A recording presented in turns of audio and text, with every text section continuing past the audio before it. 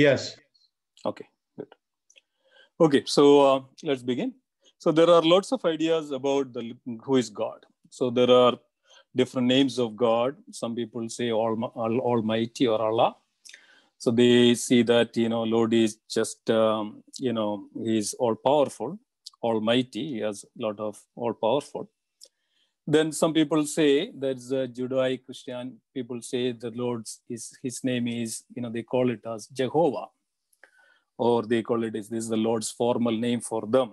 But still they are lots of uh, they're lacking lots of things details around the lord about what is his identity what is his qualifications qualities and uh, you know so many so many de- details are missing there so still it is not clear for even for them there are you know they are confused you know there are so many schools of thoughts are also within them that you know who is god. Then if you lo- look at the buddhism and then there is no concept of god at all. They say everything is uh, void and their concept is that you just uh, develop your intelligence you awaken your intelligence or called buddha or you awaken your uh, you know insight and then uh, you attain a nirvana or a or a uh, stage where there is nothing you just attain that. So until at that time you just take birth and things like that. So then in jainism there is um, a concept called uh, tirthankaras and the concept is that you know they find up to 24 tirthankaras and now there is a mahavir is also one of the tirthankaras their idea is that yes you can also become the one of the tirthankaras or you can also become a god so in sikhism there is a, a concept called vaheguru i mean that their concept is that yes lord is wonderful lord is great wonderful lord. The vaheguru means that it's wonderful. So yes, they they use the name of Lord Rama, Lord Krishna, and all those, but still they are not sure that who is that specific God. So like that, there are so many ideas, and if we come to the our uh, the culture of Hindu, Hindu culture, there are 33 crores, 33 crores of gods. So we can see that you know there is Indra, there is Chandra, there is Surya, there is Shani, the various planets and the Vayu, Varuna, Agni. If you look at that Agni, there are 48 types of Agni, and there are Pava Agni, Vidhu Agni, and like that, there are names. There are 12 Adityas, there are 12 suns, and there are 8 Vasus. So, so many varieties of uh, gods are there. I mean, they people are generally termed it as gods. And also, we, we believe that uh, in, a, in a mother cow, that all these gods um, lives there and they are very powerful. They have specific functions to do and they are there. I mean even you know we understand that uh, the you know if you look at even our body there are various demigods also resides in our body and that's the concepts of that. Still it is not clear. Many people worship in different different ways that we can see that you know in in our culture as well. And um, there is again there is um, you know when we worship that there is a panchopasana puja or pancha puja or this is called smarta puja. So they generally worship five deities and this is uh, originally came out from the impersonalism or uh, you know mayavad philosophy and then uh, then they they have to worship something so they came up with the five prominent deities of these gods. And that's uh, you know the uh, they worship shiva they worship parvati they worship durga or surya they you know they, then they they can worship their own ishta devada. So they think that you know then they worship by worship that they can uh, gain prosperity and then avoid all the evils. Then they also i mean there are worshippers of you know navagraha and they in order to eradicate all the doshas you know people worship accordingly and some people very much uh, just exclusively worship and still they are not clear for their whole idea is that okay so that i can live here in this world happily. So these are the various ideas that there that they their worship. And then of course you know there are lots of other areas of there is a temple for spider in kerala. There is a temple for spider and they come and worship spider and their worshipable deity is spider and if you look at in other places, there is a temple for ants. You can see that. You know, there is they come and they offer their worshipable deities ants. Then the very funny thing is actually then there is even temple for a bullet. Even Jodhpur in in uh, Rajasthan, Jodhpur, there is a temple uh, for a bullet, and they come and worship, and their worshipable deity is bullet here. So we can see that there are so many, so many, um, you know, methods and various ways that people worship because of they don't know what what is uh, who is God, what is the real worshipable deity, and then we have other isms, and there is Shaivism. Shaivism means their uh, prominent um, god is Lord Shiva. Then Shaktism, and then there's a Shakti or Devi. Their prominent uh, worshipable deity is Mother Durga or a Devi then, of course, Vaishnavism is there, and that is, you know, Lord, um, I mean, in many ways that they do worship Vaishnavism, but the prominent is they worship the Lord Vishnu. And then Smartism. Smartism means Martha, you know, they, they worship these five deities, and then uh, they go accordingly. Then also we can say that then, you know, according to our scriptures, it says then um, how we can understand, how we can understand these these concepts of the gods, a concept of how we can understand what is real truth or what is real knowledge. So, according to the Vedanta, there is um, five ways. Uh, basically, this this knowledge. So we need to see that you know what is the real, how we can understand what is real knowledge or what is knowledge. So these ways that we can accept or we can conclude that you know there is some truth behind it, there is some uh, you know substance behind it, there is some contents behind it. So that is the that is the that is the real knowledge. So in these ways there is a term called prama. Prama is understanding real knowledge. So understanding. So there is a way that we can understand the real knowledge. So this is that we come to the um, conclusion of there is a pratyaksha praman there is a Shabda Praman, there is an Anumana Praman. So here we can see that the Pratyaksha Praman is we see a rope. So then we understand that this is a rope. But some people misunderstand this. Some people misunderstand this is a snake. Suppose if we go in the night and we see a rope on the road or somewhere. So look at the rope, we see that you know this may be a, a snake. So our absorption, our understanding of that reality is not correct. So that is known as aprama. So many people are actually in this world in this categories of something we see and then still we don't get that the real understanding of it. Is for an example, a rope we see, but we see it as a, we take it as a snake. So like that, in this world, there is real knowledge, but we don't get it, we don't understand it. That is the category of aprama. There are, you know, there are categories of the ways of understanding. So it's not real, it's unreal. So then we see a rock and then we understand or we take it as a snake. So we are afraid of it. Now we are agitated, anxiety, so many problems it creates and we go through it. So we can see that there are people around like that. Then we come to that prameya.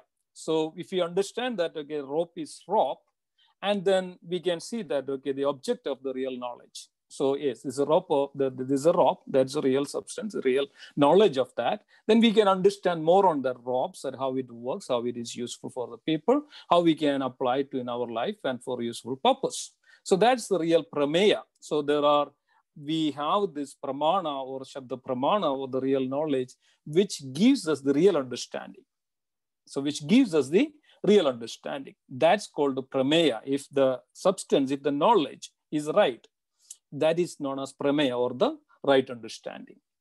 Then there is pramana. Pramana means to understand this knowledge. So it's not aprama, it's not, we, we don't use like utilize this. So in order to understand, there is a pramana. Pramana means tools and the materials by which we can understand the knowledge. So there is a pratyaksha pramana, as it's mentioned that. So we can directly perceive. And then there is a anumana praman. And then we can also understand some extent that, you know, it's maybe like that. Suppose for an example, if you go to the ocean, if you go to the, take the drop of water from the ocean, and then oh, the water from the ocean is salty. So we come to the conclusion that Anuman that to get this salt and their water is salty. Yes, some extent it is correct, but it is not completely correct. But if we, there are some places that even there is a pure, you know, the sweet water you get from the ocean itself. If you go to Kanyakumari, there is a temple there and they dig a well, they have a well there, which is actually came out from the ocean and if you take the water from that well, it is completely pure. It's not a sweet water. It's a pure, you know, uh, sweet water. So we can see, so still we cannot completely come to the conclusion, but some extent it's, it's real knowledge. It's knowledge that you can understand that is the water of the ocean is salty. Sea is the salty. So that's an Anuman. Then the one Pramata, another concept is actually known as, and the Pramada, one who attained the real knowledge. So through this media, one who attains the real knowledge is known as Pramata. So our objective is that that to become into the category of pramata, not that like a confused or come into the misunderstanding or not clearly understanding what is what and what I'm doing, what is this my life, and this is so our understanding, our, sole purpose is to come to the uh, real um, you know situation of pramata that is uh, attaining the real knowledge. Then um, there is also there are various um, ways that we can utilize ourselves uh, our intelligence for that purpose. And there are four category. Uh, there are intelligence in a different stage. There are four stages of intelligence. We say buddhi. Buddhi is, yes, we do have buddhi, we do have the intelligence, so that uh, we, we say that, we understand that I am so and so because of we have this intelligence. Then the further advanced, advanced stage of intelligence is known as viveka or vivegam. Vivegam that we can discriminate things. Okay, like a rope is a rope, and snake is a snake. So that comes from the intelligence. So that's come from the more um, intelligence that's called viveka. So when you see a rope, it's a rope. And but if you are not, you know, utilizing our intelligence properly, and then that is, you know, considered as like a snake. So then that is discriminating power. More discriminating power is known as vivekam.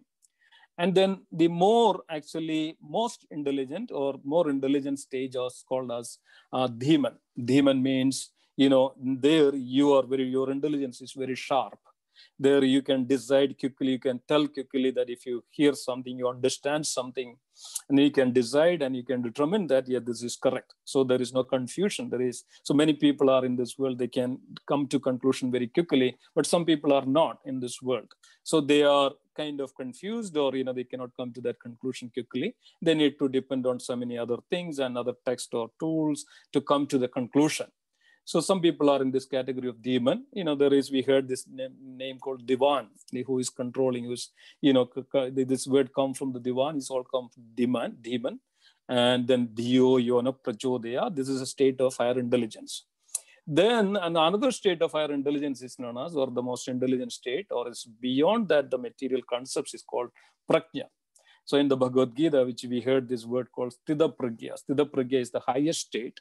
And in that highest state, we can um, see things beyond, which is ultimate, which is absolute, which there is no confusion. The people are very come to that kind of conclusion that this is it, this is the absolute, this is the real truth, this is absolute knowledge. So this comes only when we purify and come to the state of prajna. So why I'm saying this, the, so that yeah, this is very important to understand that you know we, we confuse so many things. We confuse with so many understanding. We go with so many so many um, textbooks and the books and the scriptures to find out this and this. But as it's mentioned that this this the state of intelligence is also within ourselves. Instead of so much going here and there just come to the real understanding real knowledge and the real practices that we can come to the state that Krishna also says that, you know, Sthita Pragya, or transcendently we can situate in the transcendental situation that we all can understand this knowledge very clearly. That is a perfect knowledge. So these are the various ways that we can understand things. Then we can also see that there are uh, schools of thoughts, uh, philosophies are there. So in the in the in the Vedanta, or in the or generally, which is in the um, Advaita or, uh, or Mayavada philosophy, there are various schools of thoughts are out there or the philosophies are there. Uh, so we can, there are people are understanding things in a different way. One is known as Nyaya, they logic. I mean, they see that, okay, there is some argument, there is some logic. And then, you know, they come up, they conclude from the logic that, okay, this is like this.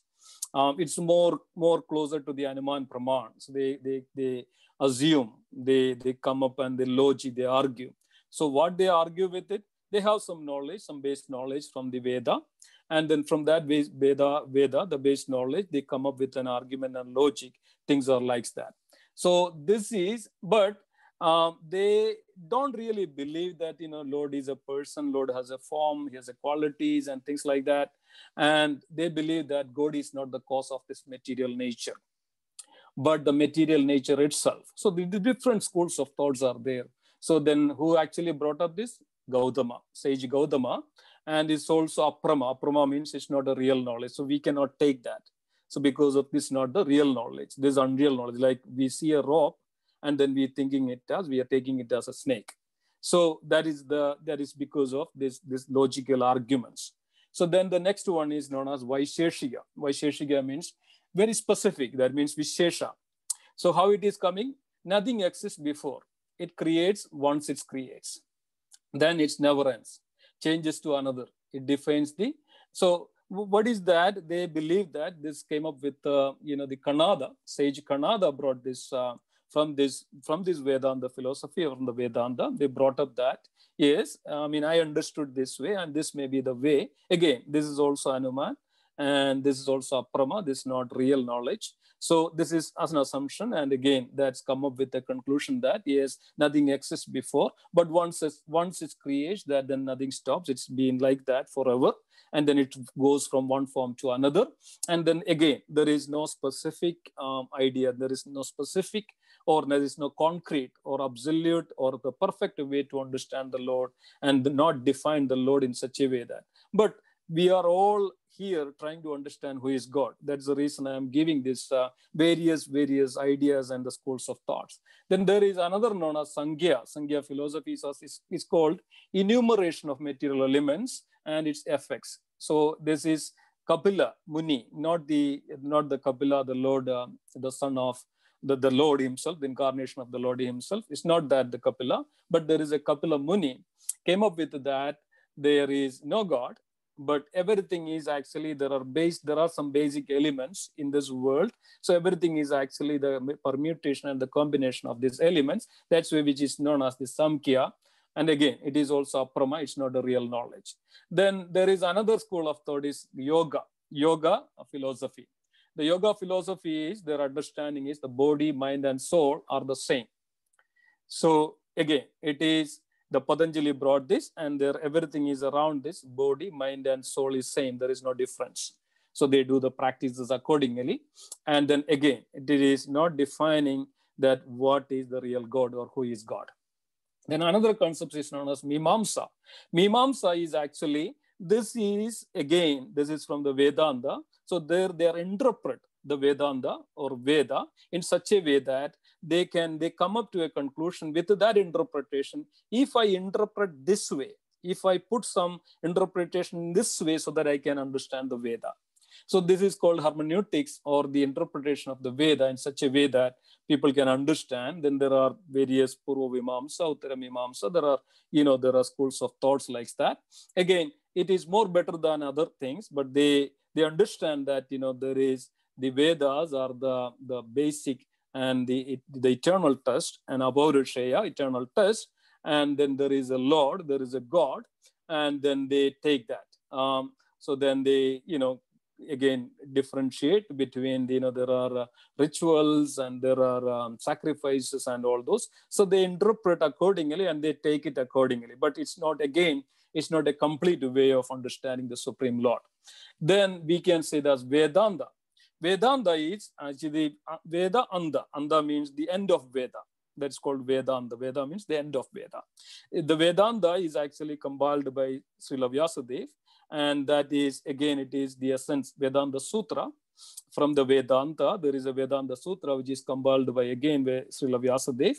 And then we can see that the Bhagavad Gita is the uh, essence of the Vedanta Sutra. So Veda is and Veda, Vedanta, and then also Upanishad. And also, also we all know that you know Veda has three uh, um, categories. That is, you know, the um, Vedanta, then um, Upanishad, and then Bhagavad Gita. This is all the summarization. This is the this is the essence or the contents of the Veda. So we know that Veda is the um, real knowledge. It's a, it's a it's a pramata. It's a prama. It's a real knowledge. So it's the real knowledge. People took it in different different ways. But we can see later, we can see that how the Veda is actually um, gives us the real understanding and the knowledge. Then we can see that there are a lot of Siddhantas.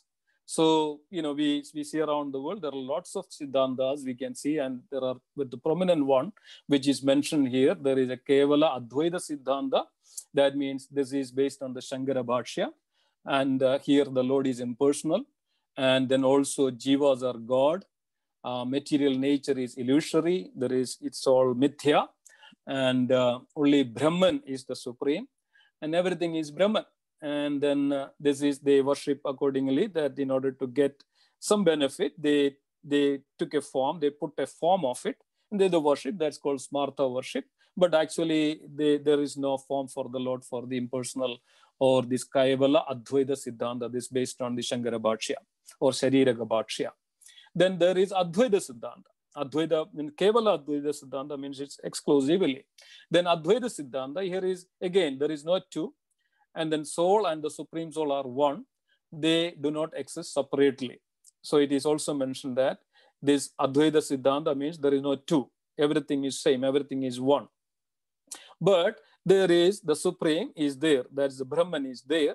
He is the cause of all the causes. That's Advaita Siddhanta or Advaita philosophy. Then there is a Vishishta Advaita Vada or Vishishta Advaita. Vishishta Advaita, which is again, this is this brought up the Ramanujacharya, and then uh, thousands of thousands years back. Then this is Vishishta Advaita is known as specific monism. Monism means you know believe in one God, and that everything is again one. And then that Lord is Vishnu. So in the Vishishta Advaita, Ramanujacharya believes that there is the Supreme, is a Brahman, but he is he is known as Vishnu. So he put a name, I mean, um, the, the known as Vishnu. So, and he is Ishvara, he is the source of everything, and Jiva are subordinate to him. So this is the Vishishta Advaita Siddhanta, which derived from even from the Advaita Siddhanta. Then there is Shuddha Advaita Vada. This is uh, Vishnu Swami and then this is came from the Sarvajna Bhashya. This is pure monism. That means Brahman, Brahman became an individual. So there is individual, but this is the Brahman. This is like, you know, uh, a light and there is a separate light from that light. Uh, it's like that. So it's a, it's a, it's, it's a Brahman is there, but the, the individual soul is that the part of that Brahman. So it's, it's a part of the Brahman. So then they, uh, once the living entity is passed, then they merge with that Brahman. So this is um, this is the uh, you know Shuddha Dvaita Then there is also Dvaita Siddhanta. That means there is two. That means the super soul, the, the Brahman or the Paramatma, the Supreme Lord, and the soul, the individual souls are two. They are separate. But in qualitatively, they are same, and but quantitatively, they are different. So our separate individual these are actually brought by the Madhavacharya. And Madhavacharya introduced that the Supreme Lord is actually the Krishna. The Supreme Lord is Lord Sri Krishna. The Madhavacharya introduced that. That's called Dvaita Siddhanta. All the living entities are is uh, you know separate um, and part and parcel at the same time. Then we can say that there is Dvaita Advaita Vada. This is Nimbarka Acharya, both Dvaita and Advaita. So again, it is further divided. And then also, yes, uh, then Lord is there, the individual souls are there. They are um, one in one sense, it's all same, and then again, it is different, and uh, there are various differentiations there, and their worship is different, and they think like that. And then there is uh, Ajindya Bheda Bheda Tattva. This is inconceivable oneness and the difference. This is Sri Chaitanya Mahaprabhu 500 years back brought this uh, this this this schools of thought this this this understanding is that uh, the lord is inconceivably uh, oneness. Everything is belongs to the supreme. At the same time it's also different. That we can see that in the throughout the bhagavad gita which explains the same. So we'll so go further and see uh, more details about uh, this this uh, this various thoughts and schools like that then we comes to the you know stages of Vaishnava Sampradayas. So based on this Advaita and Dvaita Siddhanta, Vishishtadvaita and Dvaita Siddhanta, there are again, then it's come to the real conclusion, real understanding of the Vaishnava Sampradayas. So in the Vaishnava Sampradaya, this is Dvaita based on the Dvaita and then Dvaita Advaita, then Vishishta and then Ajindya Bheda Abheda Tattva. It all comes together here. And here we can see that there is a Vaishnava Sampradaya. And there in the Vaishnava Sampradaya, um, they, they, they take it as the Lord Vishnu is the supreme. There is a form, there is an identity, there is quality, and that supreme Lord is Vishnu, and he is the supreme. And then based on that, there is a Brahma Sampradaya, that means Lord Brahma uh, gave these details about that who is the supreme that supreme lord is vishnu then madhavacharya also the madhavacharya then again further uh, and lord chaitanya mahaprabhu and then uh, brought this point of the the the supreme lord is krishna Aradhya Bhagavan, Brajesha Nandana So Aradhya Bhagavan is the worshipable deity, is the Supreme Lord Sri Krishna and Vishnu. I mean, there is no difference between Krishna and the Vishnu. Then Sri Sampradaya, also this came, this derived, this the lineage of that came from the Sri Lakshmi, um, Sri Lakshmi Devi. I mean, the way it is that the Supreme Lord instructed this knowledge to Brahma, so that its Sampradaya is known as Brahma. Then the Supreme Lord instructed this to Mother Lakshmi. Then that knowledge, lineage came down. That's a Ramanuja Sampradaya. Then there is Rudra Sampradaya. The Supreme Lord instructed this knowledge, transcendental knowledge to the uh, Lord Shiva. That is the Vishnu Swami is there. Then Kumara Sampradaya, that's Sanat Kumara. The Supreme Lord instructed this knowledge to Sanat Kumara. There is a Nimbarka Acharya. So this all same. Everybody has the same common understanding that Lord Vishnu is the Supreme. So now we can see that there is a Brahma Madhava Gaudiya that VR belongs to, that the, the understanding of the, the Brahma imparted this knowledge to Madhavacharya. Madhavacharya then, uh, you know, this, this understanding of the Supreme Lord is also came down with uh, Sri Chaitanya Mahaprabhu. There you can see that the Madhavacharya raising his two fingers, this you know, it's like a V shape. What does that mean? Two shape is actually, yes, this Dvaita. Supreme Lord is um, separate from the individual soul. He is the supreme. Individual soul is individual. He always exists. And but he is qualitatively same, but quantitatively different. So this, these teachings are there. That's Brahma Madhava Gaudiya. So then we see the come to the understanding, okay, there is always a question that is Lord is supreme, um, Lord, uh, Lord is impersonal or uh, personal. So this is known as the Mayavada or Brahmavada or then uh, personal. There is, a, you know, the Lord has a form. So here, let's see what is impersonal. The, they believe that Lord does not have any form. Lord is formless. He is nirvikara. He does not have any quality. He is nirguna. He is uh, nirakara. Uh, like that. There are so many ways, you know, they, they define that, you know, because of uh, their thoughts are, their ideas are actually, the, everything is impersonal. Then everything comes from that impersonal to the personal. Then, then also there is a understanding that Lord is personal. So Lord has a form and qualities. So then, you know, our scriptures very clearly mention that Lord has ajindya gunasaru. He has innumerable qualities. He has inconceivable potencies and swarupam. And his form, he has a form, he has a lot of qualities then we also have a common understanding that all the humans are made up on the form of the Supreme Lord. That's why we have this beautiful form of the human. Then the arguments of that, you know, personal or impersonal, Lord is personal or impersonal. So the great acharyas and the great uh, devotees, they, are, they come to a conclusion, uh, including Madhavacharya, Sri Chaitanya Mahaprabhu, they all come to the conclusion that, yes, Lord is personal because of for an example, there is we can give an example. We know that the sun is there, the sun rays are there. So this sun rays that which uh, you know we cannot call hold of it, but we know that the sun rays are there. So we can see that you know this impersonal aspect of the Lord is actually is this is um, you know this is the Lord's impersonal that or you know all all pervading aspect, all his energy, and it's all pervaded there. Everywhere is this energy. But we can see that this light is coming from the sun so if you look at that, so how the sun come from? I mean, if the question is that if it is a personal or the form come from the um, no form, then how the form comes? Like we can say that, uh, ask this question, how the sun come into the picture? How sun came into the picture? Is the sun rays made the sun? It's not possible, isn't it? We cannot come to a conclusion or we cannot come to the real understanding that the sun is made up from the sun rays. It's not possible. So, but we can come to that, yes, sunrise is made up from the sun because of the sun exists with his form, he has a nature, he has quality, so that sunrise um, came from the sun. So with this conclusion that the devotees and the you know these scriptures come to the conclusion that yes, the every form come from the form, energy come from the energy, lives come from the life. So qualities come from the qualities. So the nature come from the nature so likes that. So there's a this this we can conclude that then Lord has a form. Lord is a person. He, is, he has identity, he has uh, address, he has qualities. So we can understand from this, Lord is a person. So then we can also understand further, yes, this is the Ajindya Bheda Abheda Tattva or Dvaida Advaita Siddhanta that in the Srimad Bhagavad it, is, it says that Tattvam Vidas Tattvam Yat Jnana Advayam Brahmedi Bhagavat Paramatmedi Bhagavan Idi Shabdaye. That means the same Supreme Lord can manifest or in three different ways. And he can be a Brahman, he can be Paramatma, he can be Bhagavan. So he can be formless as well. So he can be form. He can at a time he can he can he can have form.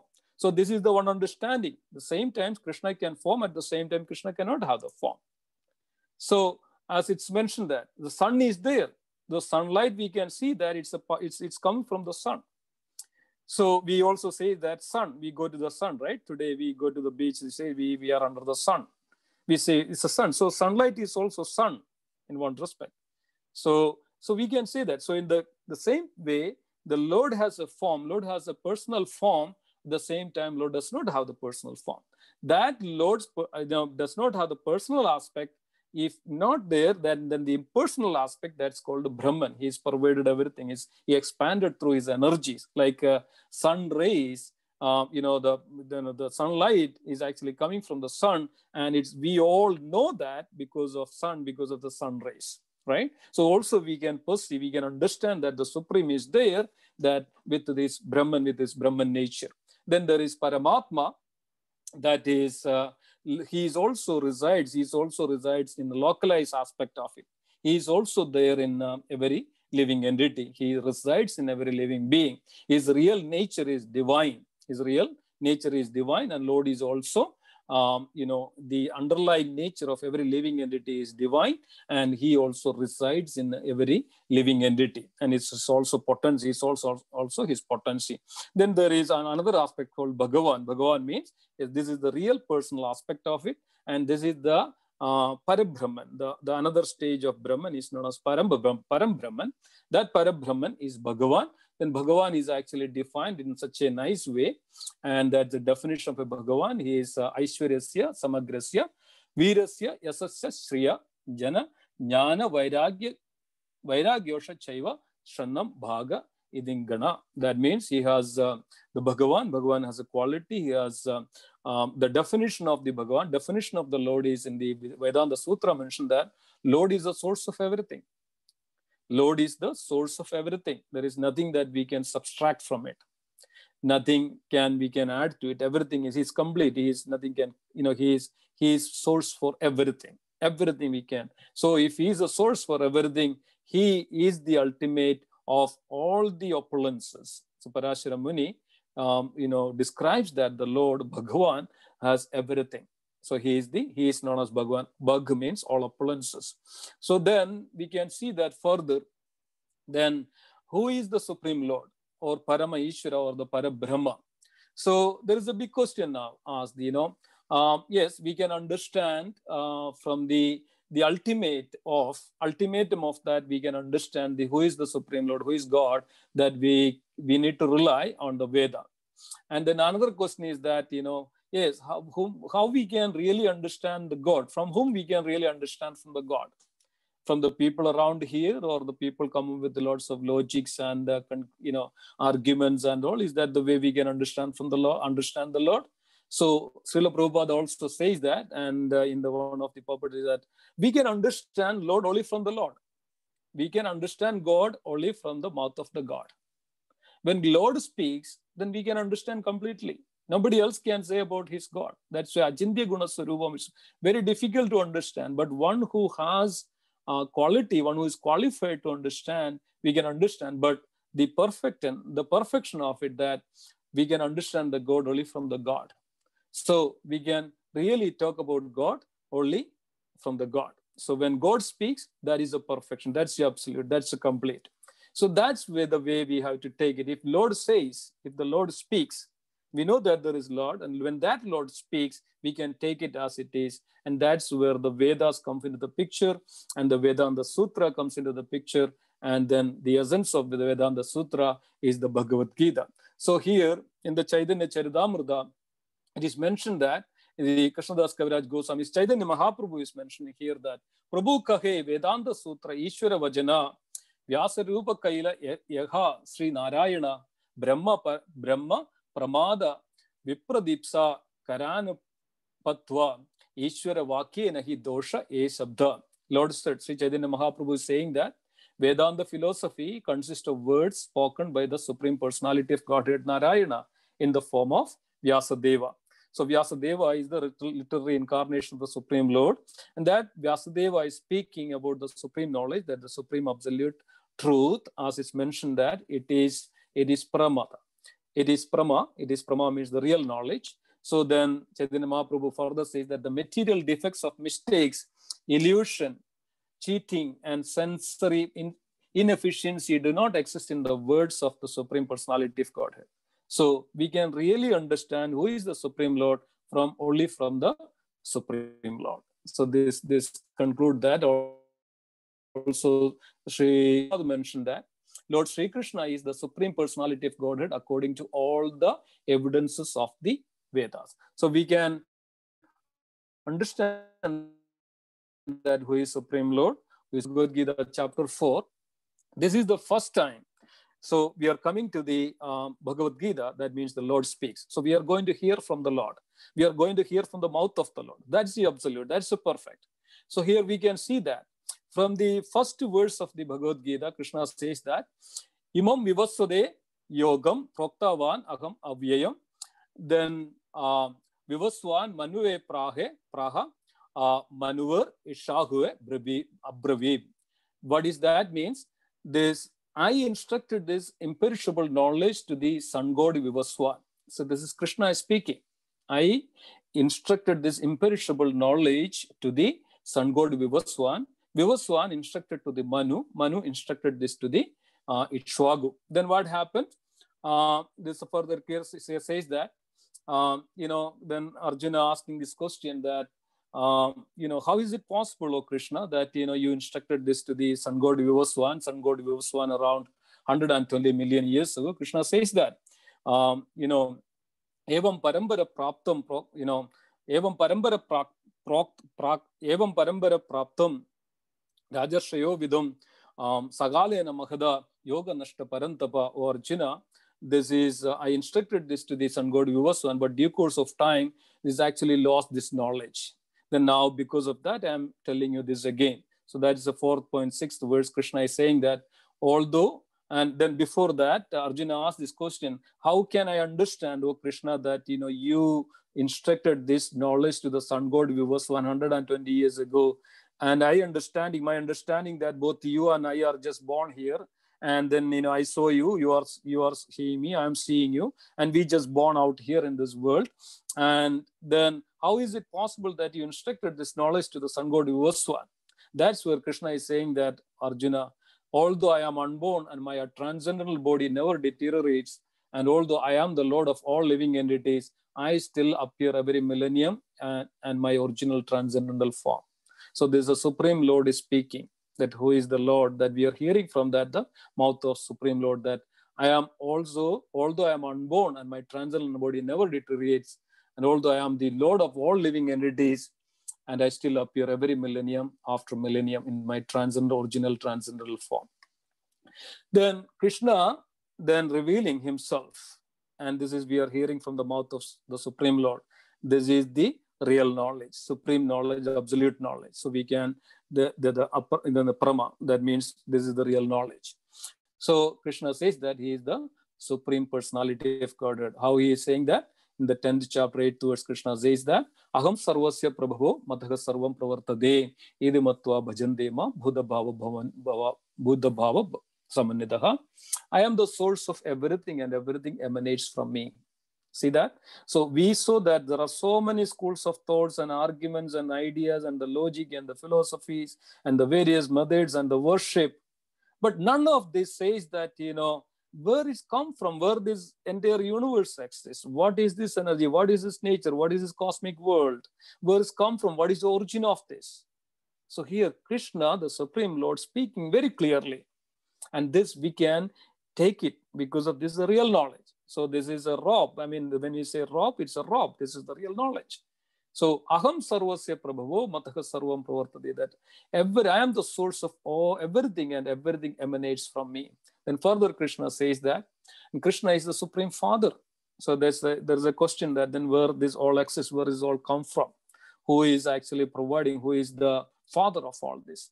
So Krishna further explains in the Bhagavad Gita 14.4. Sarva yonishu kaundeya murtaya sambhavadiya. Tasham brahma mahat yonir aham bija pradapida. Krishna says that it should be understood that all species of life, O son of Kundi, are made possible by birth in this material nature and that I am the seed giving father. So Srila Prabhupada writes that life comes from the life. So we can see that. I mean, there are so many other, you know, bogus ideas about the evolution and all. But if you look at that in the real picture, even million years ago, that you know monkeys were there and the human was there. There is you know cycle of yuga and yuga cycle, and now you know the, the important fact, the interesting fact is that now, even science and all is all confused, but they are finally they are coming to the conclusion of what Vedas says, what Bhagavad Gita says, what Srimad Bhagavatam says. They come up to that conclusion. And I'm not taking time to that, then that will, you know, go that's a side note. So then Krishna further further says that Pidaham Asya Jagadu Mada Dhada Vedyam Pavitram Omkara Rik Sama Ejur Evacha. Translation is that I am the father of this universe. So it's everything comes from him. We can see that I'm the father of this, the mother, the support, and the grandsire. Bhagavad Gita 9.17, Krishna says this. Then further, Krishna is the most dear friend. And Krishna is the Sugurdam Sarva Bhudana. In the fifth chapter, 29th verse, Krishna says that um, Bhaktaram Sarva Loka Maheshwaram Sugurdam Sarva Bhudhanam. He's a Sugrud, he's the most dear friend.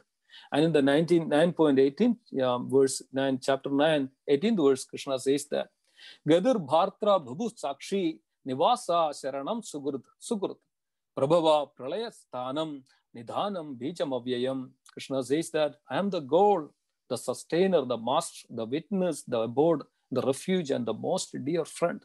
I am the creation and the annihilation, the basis of everything, the resting place and the eternal seed. See that the one verse itself, Krishna is very boldly declaring and establishing that he is the supreme, he is the source of everything, he is the father of everybody, every living entities, everybody comes from him. We are all part and parcel of him. Jiva Loke Jiva Bhuta Sanatana Manashastrani Indriyani Prakristani Karsha. This is the 15.7th verse, which explains like that. All living entities are my eternal part and parcel.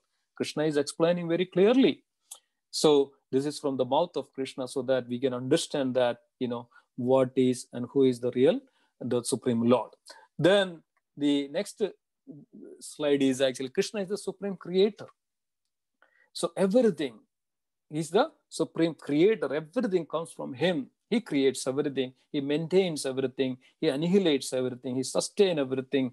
He is the time. And there are so many Bhagavad Gita is explained so nicely about this wonderful transcendental knowledge. And Pragradim Som Avastabhya Visrajmi Puna Puna Bhuda Gramam Ivam Krishtam Avasam Avasam Prakrtir Vasad. Krishna says that from the mouth we are hearing this, the whole cosmic order is under me. By my will, it is manifested again and again. And by my will, it is annihilated at the end.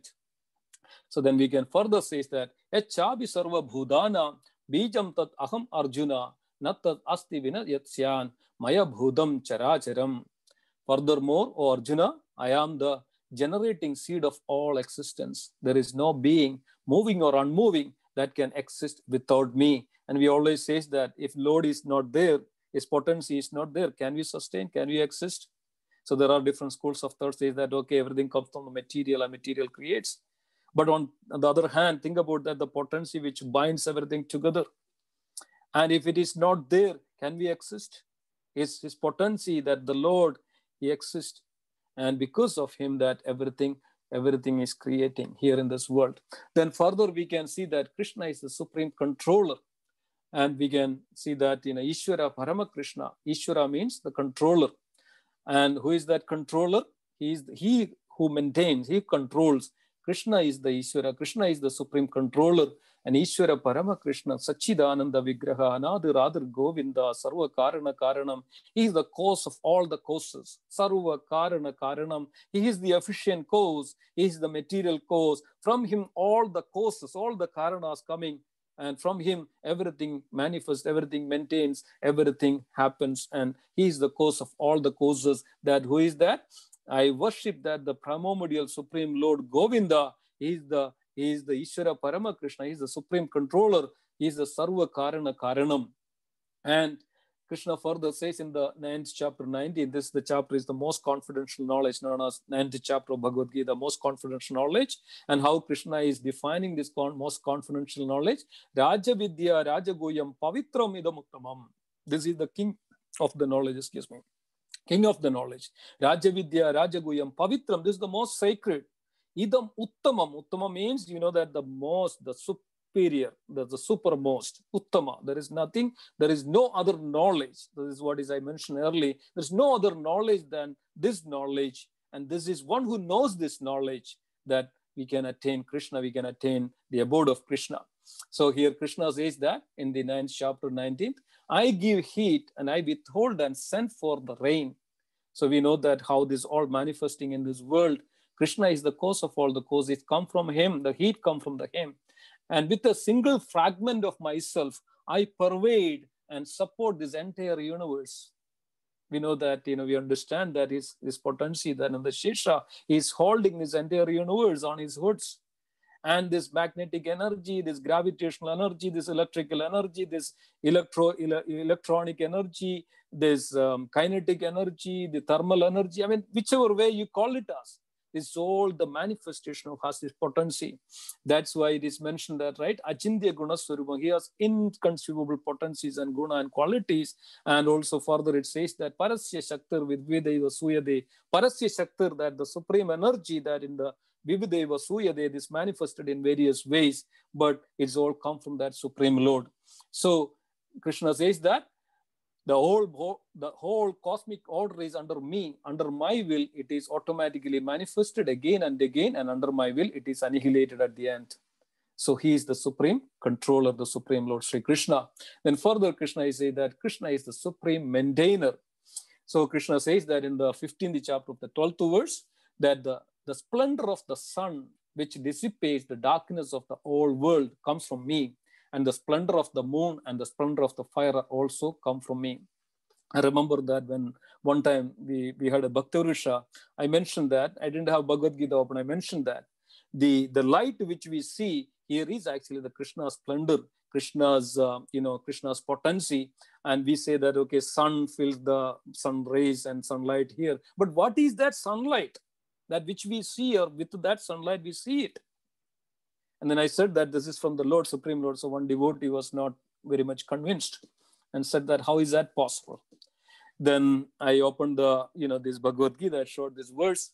And the splendor of the sun, which dissipates the darkness of the whole world, comes from me. So this is this light which also we see is the splendor of Krishna. And the splendor of the moon and the splendor of the fire is all, is everything is Krishna. Then, you know, we can understand that there are only two things one is Krishna, everything else is Krishna's. Everything else is that Supreme Lord. And that Supreme Lord has such a wonderful quality. And then we also have that the portion of quality and the you know some some portion of that quality. And we we qualitatively we are also same with Krishna. So we get that. That's where we move, we do things, we take, we talk, we remember, we enjoy. So many things we do because of the same quality is there in the Krishna as well. So Krishna is a person, same as you know, like us or we are all like Krishna. Right? Krishna has innumerable qualities, innumerable potencies. Then Lord Krishna in the Bhagavad Gita further explains that I enter into the each planet and by my energy it stay in the orbit. See, it's very clear. We are hearing from the mouth of Krishna. This is what is we need to understand. Then Krishna says in the ninth chapter, 10th verse, Mayadhyakshena prakrite suyade sacharacharam hedunanena kaunteya jagat vibari vartade. Krishna says, this material nature, which is one of my energies, is working under my direction, O son of Kundi, producing all moving and non-moving beings. under his rule, his manifestation is created and annihilated again and again. Jagat Vibari Vartade.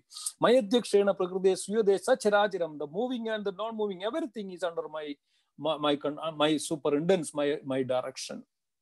So nothing that we can separate from Krishna or we can independently or individually act that, okay, I am the Lord, I can. But that is a wrong idea because of when we think that way, then we are separating from Krishna in, in, in quality or in, in, in a real uh, sense. So that's where this disparity comes between the individual and the Supreme Lord. That is a disharmonious situation. We should be always harmonious with the Lord. We need to understand that we should work according to the will of the Lord. Our activity should be according to the will of the Lord because He is the supreme controller. We are not the supreme controller or we are not the supreme maintainer. Here, further, Krishna is also his nature as he is omnipresent, he is everywhere. He can understand everything. Omnipresent means he is always present. So Krishna says that further, I am the super soul, O Arjuna, seated in the hearts of all living entities. I am the beginning, the middle, and the end of all beings. It's also explained, Brahma explains this one, Advaidam Achyudam Mananda Rupam, Adhyam Purana Purusham Nava Yavanam Cha, Vedeshu Durlabham Adurlabham Atma Bhakto, Govinda Madhi Purusham Tamaham Bajami. Brahma says that Advaidam, there is no two. That means you are everything and you are the supreme you are the Advaita and you are Achyudam, you are infallible. Anandam, you are, you know, everlasting. Anantam, eternal. You have a very spiritual form, Rupam. Nadhyam, you are the original Purana Purusham.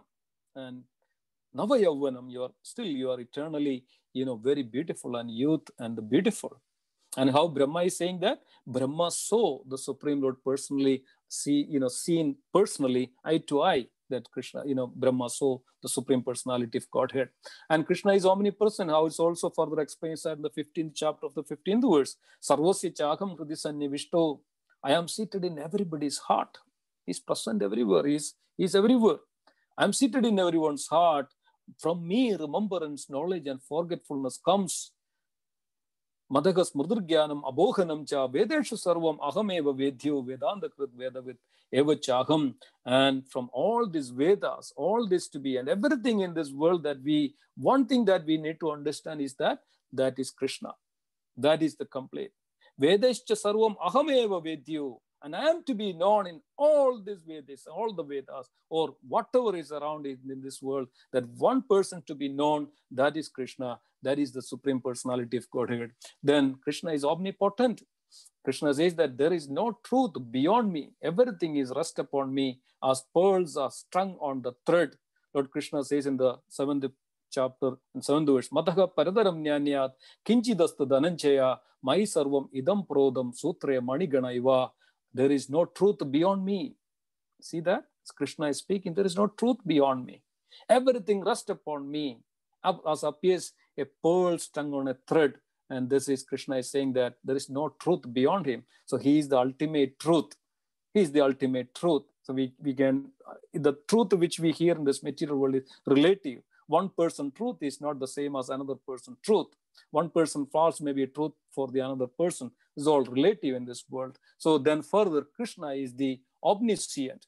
Krishna says, Oh Arjuna, I know everything that has happened in the past, all that happening in the present and all things that are yet to come. I also know all living entities. Krishna knows all the living entities because he is omniscient. He is full of knowledge. He is full of chit potency. He is full of knowledge. That's for an example. It's mentioned that Arjuna asked this question. You know, oh, both you and I are here in this world now, Arjuna. Oh, Krishna, that how do you know about that Vivasva? And Krishna said that, you know, I exist before. I know and this 100 i know everybody what was happened in the past what is happening in the present what is happening in the future he is there he is visible he is there you know he is always there that's known as he is omniscient so that's why krishna says many many births both you and i have passed i can remember all of them but you cannot o arjuna then further we come to the uh, conclusion here that so arjuna was hearing this all from the supreme lord then Arjuna, how this one? Oh, Arjuna, you said, you know, you are this, you are that. I'm beginning, I'm the end, I'm the annihilator, I'm the maintainer, I'm the controller, I'm everything. Then how do I see this? So That's the time Krishna is showing that the beautiful, that the universal form that Arjuna could see everything. What Arjuna is seeing? Arjuna saw in that universal form unlimited mouths, unlimited eyes, unlimited wonderful visions. The form was decorated with many celestial ornaments and bore many diving, upraised weapons. He wore celestial garlands and garments, and many divine scents were smeared over his body. Always wonder, all was wondrous, brilliant, unlimited, all expanding. If hundreds of thousands of suns were to rise at once into the sky, their radiance might resemble the effulgence of the Supreme Person in that universal form. This is Arjuna seeing this, the Supreme, that the, how the Lord is maintaining, how the Lord is, you know, uh, taking care of all these things. And as mentioned that he is everything. So here Krishna is showing that he is everything. Now Arjuna bewildered with this one. And that's also because of, you know, this is the problem, like in Slim, we mentioned that when we cannot see the truth in two situations, in two stages, like we cannot see anything. When once we are in a blind situation, we cannot see anything. But when there is a dazzling light, then also we cannot see anything. So here Arjuna is in the situation of that dazzling light. Now Arjuna can't see anything, cannot think anything. He is completely bewildered with it. So this is also our problem. Sometimes we are so blind we cannot see anything. Sometimes we are so much into so much of you know there's so much of knowledge we say so much of things and we can also we cannot also see things properly. So in that situation also Arjuna here sees that you know oh, oh Lord that I understand and Krishna how Arjuna is seeing that I'll see in the next uh, word you know uh, slide of it. So Arjuna prayed to the Krishna. Now Krishna came down in his four-handed form. Now further krishna arjuna prayed that oh arjuna you showed me show me your original form your original beautiful form. And then krishna is actually further came down and to his original beautiful form. And krishna is telling to arjuna in that situation arjuna this form is very dear and very special. And this form is very special. And then you know krishna is mentioning that you know when i come down with this form and it's, it's, it's, mentioning like that. Avajanadi Mamuda, this is the ninth chapter, 11th, 11th verse. Again, the most confidential knowledge. Avajanadi Mamuda, Manushim Tanu Masradam, Param Bhavam Ajanando, Mama Bhuda Maheshwaram. And Krishna says that when I come down with my transcendental form, the fools derides me. They do not know that I am the Supreme Lord and I am the Supreme Lord of all that being. Mama Bhuta Maheshwaram, I am the Supreme Lord of all that being. And then also in the seventh chapter, 25th verse, Krishna says that, um, um, uh, Krishna says that Sarvas, Naham Pragasha Sarvasya Yoga Maya Samavruda uh, Mudo Bhina Bhijana Di Loko Mam Ajam Avyayam. But Krishna says that Naham Prakash Sir, I am not actually, I am not manifested for the foolish and unintelligent. For them, I am covered by my internal potency so that they do not know that you know i am unborn i am the supreme lord of that all being. Krishna says that also further that i'm not manifested for the unintelligent and foolish. So that's the reason krishna is telling here to arjuna this form is very dear very dear to me. And only those who are devoted to krishna only those who have the inclination to see this form that krishna reveals to that the form to the that uh, that devotee. So krishna is a arjuna is a very dear devotee of krishna. So krishna is revealing that very beautiful transcendental form to arjuna. So we can see here. And further here in the summary i'm just i'll finish right now. And uh, so then again come to this conclusion who is god right? So arjuna so that arjuna come to that conclusion. Arjuna is praying that beautiful prayer to the krishna. Krishna is in the 12th 10th chapter 12th verse and the 13th verse Param Brahm, Param Dham, Pavitram, Paramam Bhavan. Arjuna is praying. Purusham, Shashwadam, Divyam, Adi Devam, Ajam Bhubum, Agustyam, Rishaya Sarva, Devarsho, Nardastada, Asido, Devalo, Vyasa, Soyam, Chaiva, Brahmevime. Arjuna is praying and telling to Arjuna that Oh Arjuna, oh Krishna, you are the Param Brahm, you are the Param Brahman, you are the Supreme Lord. Param Dham, you are the ultimate abode. Am Paramam, you are the Supreme. Pavitram, you are the most sacred. And Bhavan, that the person. And Purusham, Shashwadam, Divyam. And you are the Purusha, Shashwadam, you are the ever existing, eternal. Adi Devam, you are the original Supreme Lord. Adi Devam, Ajam, you are unborn. Vibhum, you are vast, you are the Supreme. And this is not only that, Agustyam Rishaya Sarva, all the sages, Agustyam Rishaya Sarva, Devasho, Nardastada, De, Nasido, Devalo, Vyasa, all these great personalities, great sages, they are completely, you know, understand and completely realized in that supreme personality of Godhead, Sri Krishna. They themselves says that you are the supreme personality of Godhead. So here we can understand that who is God? He is none other than the supreme personality of Godhead, Sri Krishna, Sri Chaitanya Mahaprabhu, the Aradhya Purusho, Prajesha, Tanaya, Tadhama Vrindavanam, Aradhya Purusho, the worshipable deity, the supreme Lord is the Vrajesha Nandan, that the, the Nandana of the, the Vraja that he manifested here. And that supreme Lord is Sri Krishna, and he is the supreme personality of Godhead. And that we can see that. Uh, thank you so much for listening me. I would uh, uh, we will take the questions later and I would pass this to our dear uh, Gopikant Krishna Prabhu. Uh, Gopikant Krishna Prabhu, please um, uh, pardon me. I just went over seven minutes, but uh, yeah, please, please, uh, please begin your section. Hari Krishna. Thank you so much.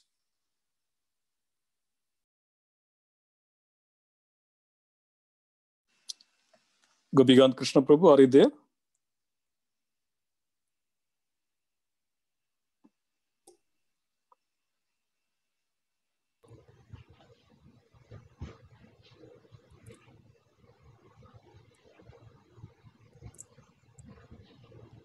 Gopikant Krishna Prabhu?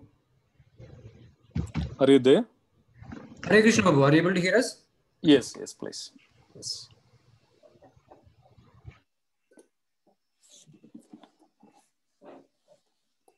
Yes, we can hear you.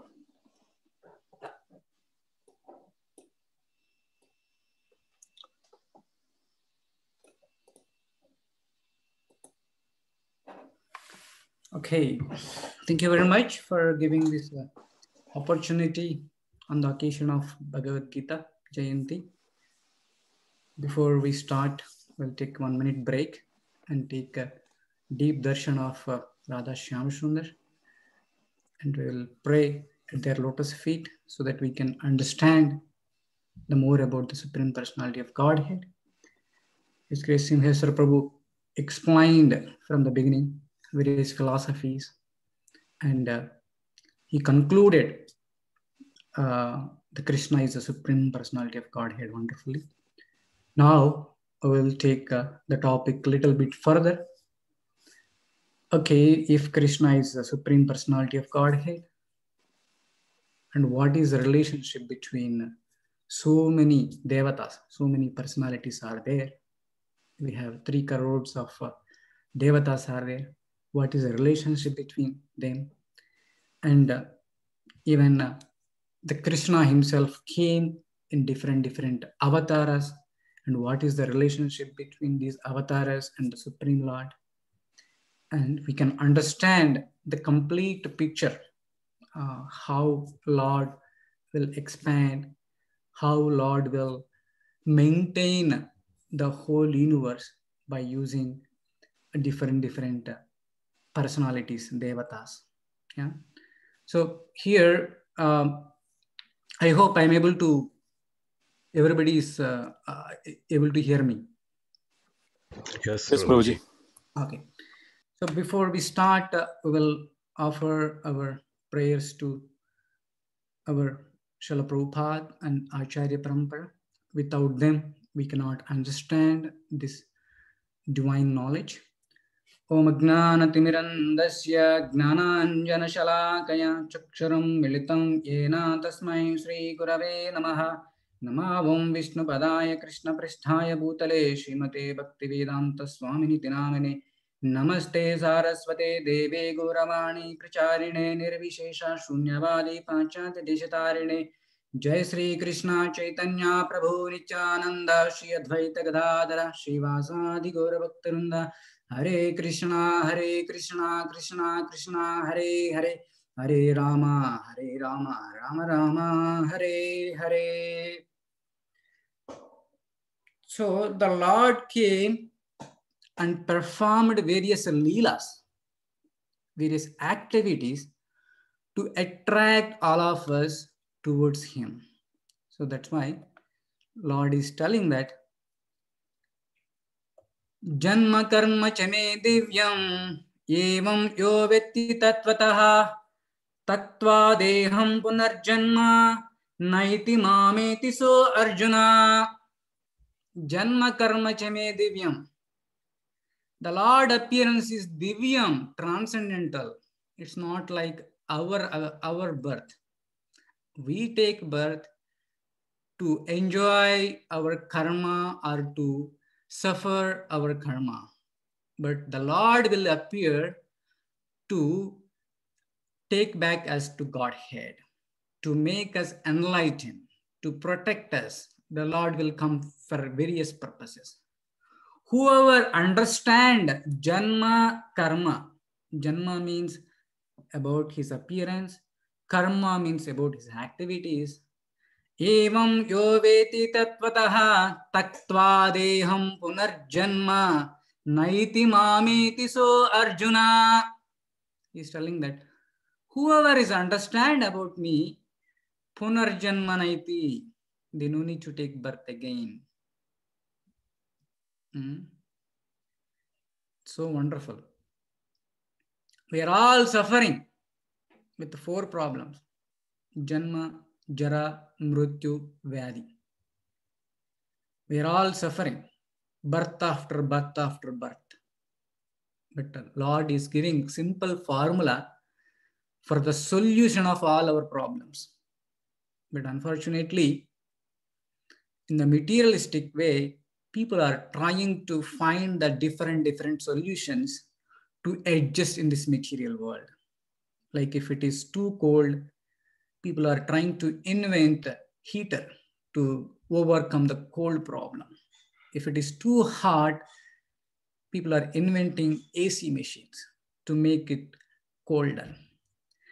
Why we are finding the temporary solutions? Why we are suffering just because of this body? So the intelligent person will think like that how can I come out of all my problems permanently? Here, Lord is giving a wonderful solution. Whoever try to understand about the Lord appearance and about his pastimes, they will come back to me. So we don't need to worry about anything. Usually, to go back to Godhead, is not so easy. The yogis, the munis, they will meditate thousands and thousands of years. But whoever, the pure bhakta, whoever understand the Supreme Personality of Godhead, his janma and karma, we can easily go back to God. Lord performed so many leelas, unlimited. His leelas are unlimited. And his leelas are divyam. If you think about the materialistic news or materialistic uh, incidents, you will get bored. Sometimes we will see the news channel will repeatedly post the same news and again and again.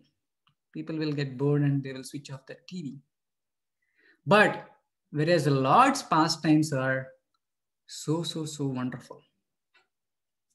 The more you hear, the more sweeter. Yeah.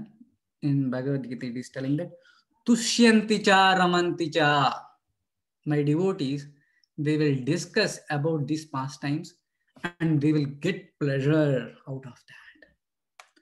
So there is a wonderful pastime happened Brahma Vimohana Lila. After Agasura's annihilation, nobody was talking about the Agasura killing for one year in Vrindavana.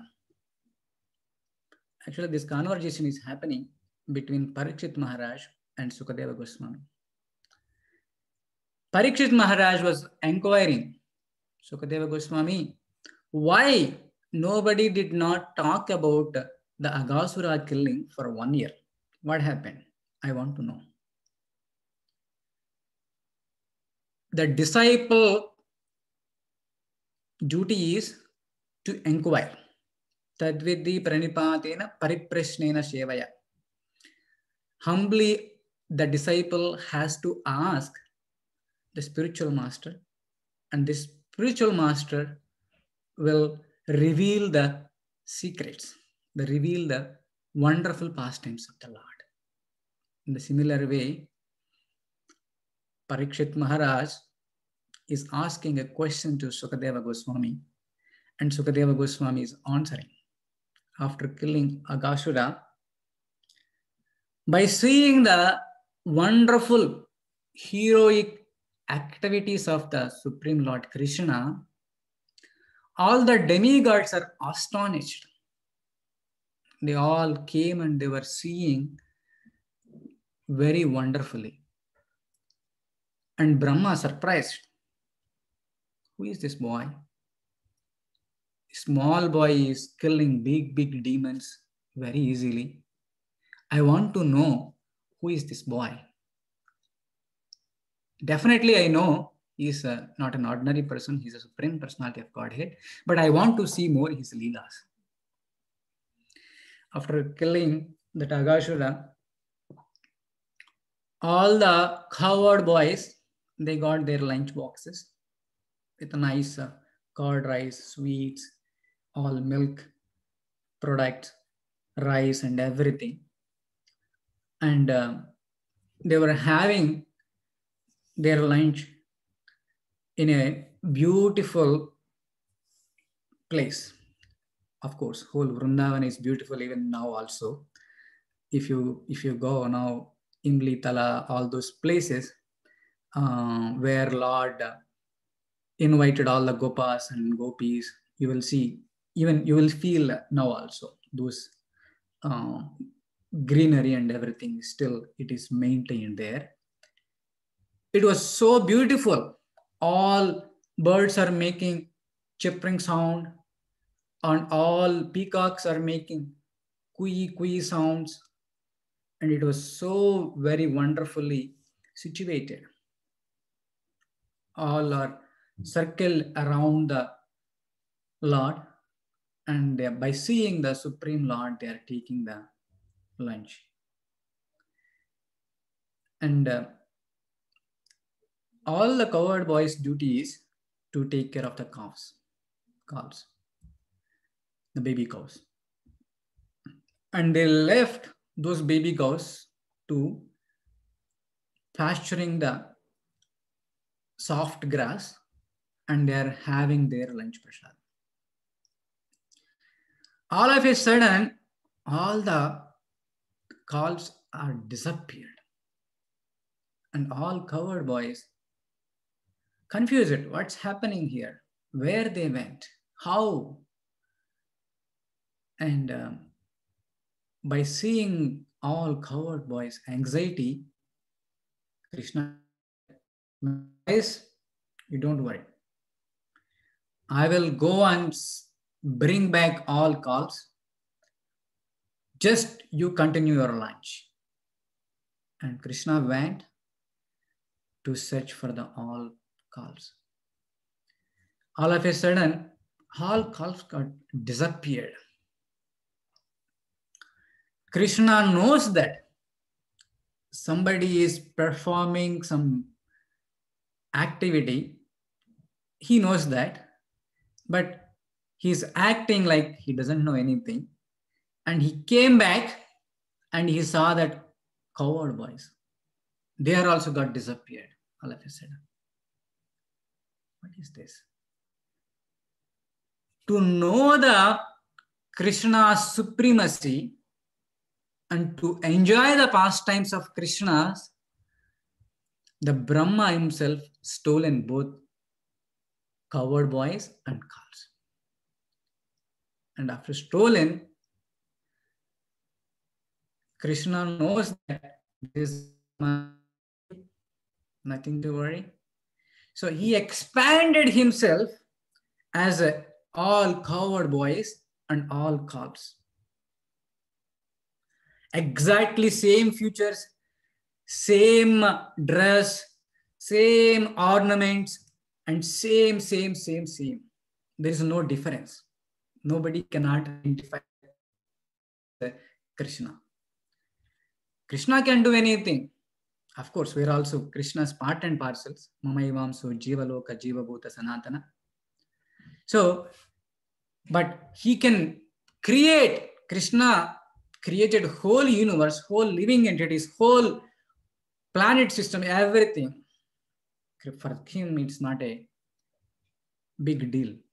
So he himself expanded as a cowherd boys and cows. And as usual, they went to their homes. By seeing this cowherd boys, all the gopis are overwhelmed. And they were getting a lot of happiness comparatively, hugging their own sons, their own boys by hugging this today this boy they were feeling a lot of ecstasy lot of ecstasy further acharyas are explaining. Their breasts are overflowing with milk. They want to feed krishna. Actually all elderly gopis has a desire. They want to be like a yashodamai. So to fulfill their desire krishna performed this leela. Fulfill all the elderly gopis' desire, Krishna performed this leela. And even the calves also, when they approach it to the cows, the cows are overwhelmed, very, very happy, very, very happy. And uh, they're also uh, immersed with ecstasy. And nobody knows what's going on. And after a few days, Balaram came. Balaram also got surprised.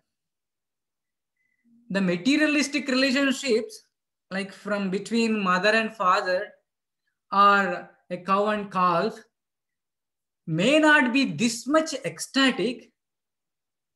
Definitely, some external energy or some some Supreme Personality of Godhead is making some Leela, it must be Krishna himself. I want to ask Krishna what's going on. Balaram went and asked Krishna what's going on here. Then Krishna explained everything briefly. And by the time Lord Brahma came, Lord Brahma is just one moment for him. Hmm?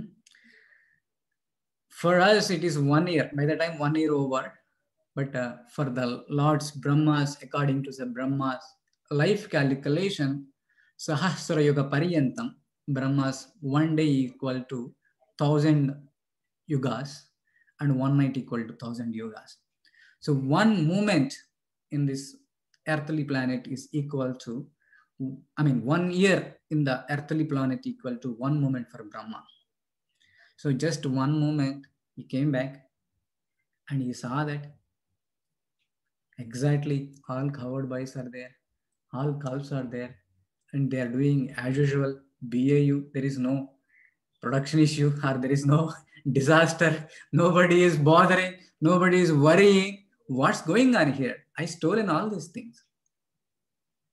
Then Brahma got confused. Did I stole it properly or not?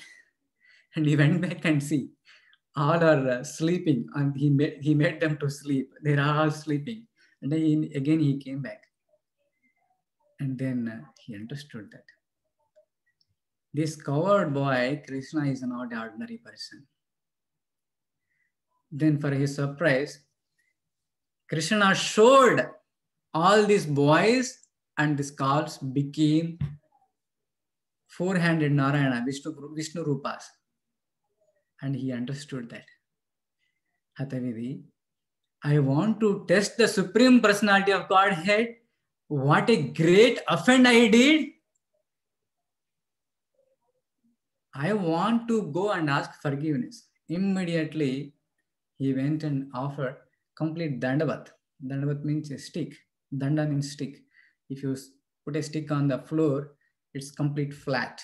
there is no shakes. So similarly, he was went and offered his obeisances and he was crying again and again, crying again and again with his tears. He was doing abhisheka for the lotus feet of the Lord. Uh, my dear Lord, with my tiny mystic power, I am thinking that I am the creator. But I am a fool, number one. You are the creator. I am thinking like a glowworm. Glowworm, sometimes it will be uh, give some glowness and sometimes it go off. But you are the real light. You are the real sun. I am the glowworm in, in front of the sun. How foolish I am. Hmm? Here it is uh, praying after realizing that Krishna is the supreme personality of Godhead. He was praying, My Lord, just see my uncivilized impotence to test your power. I tried to extend my illusory potency to cover, cover you. The unlimited and primeval super soul who bewilder even the masters of illusion. What I am compared to you, I am just like a small spark in the presence of a great fire. Hmm? Brahma himself is thinking like that. He is a small spark in, in front of the great fire. What do we compare with ourselves with Supreme Lord? We are nothing. Sometimes, if somebody got some power or some money, they will deny God. Hey, what is God? I'm the God. I have two cars. I have a big bungalow. I have a big balance. Why should I go and surrender to the God? Brahma also was thinking like that. To show that he is a supreme above all the creation, he manifested this Brahma Vimohana. Later, Brahma was asked, What is the prayaschitta? I want to take a lower birth so that my ahankara will fall down. Then Krishna told that, Don't worry, in the Kali Yuga, I will come as a Chaitanya Mahaprabhu.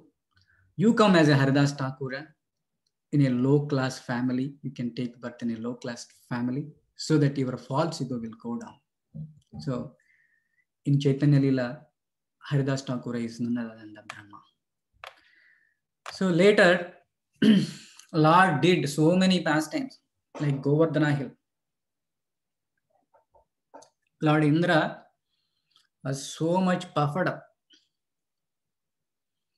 To stop his pufferness, he redirected all Vrajavasis to worship Govardhanagiri instead of Indra. And Indra got confused and Indra got offended. Who is this small cowherd boy? He is stopping my worship. Huh?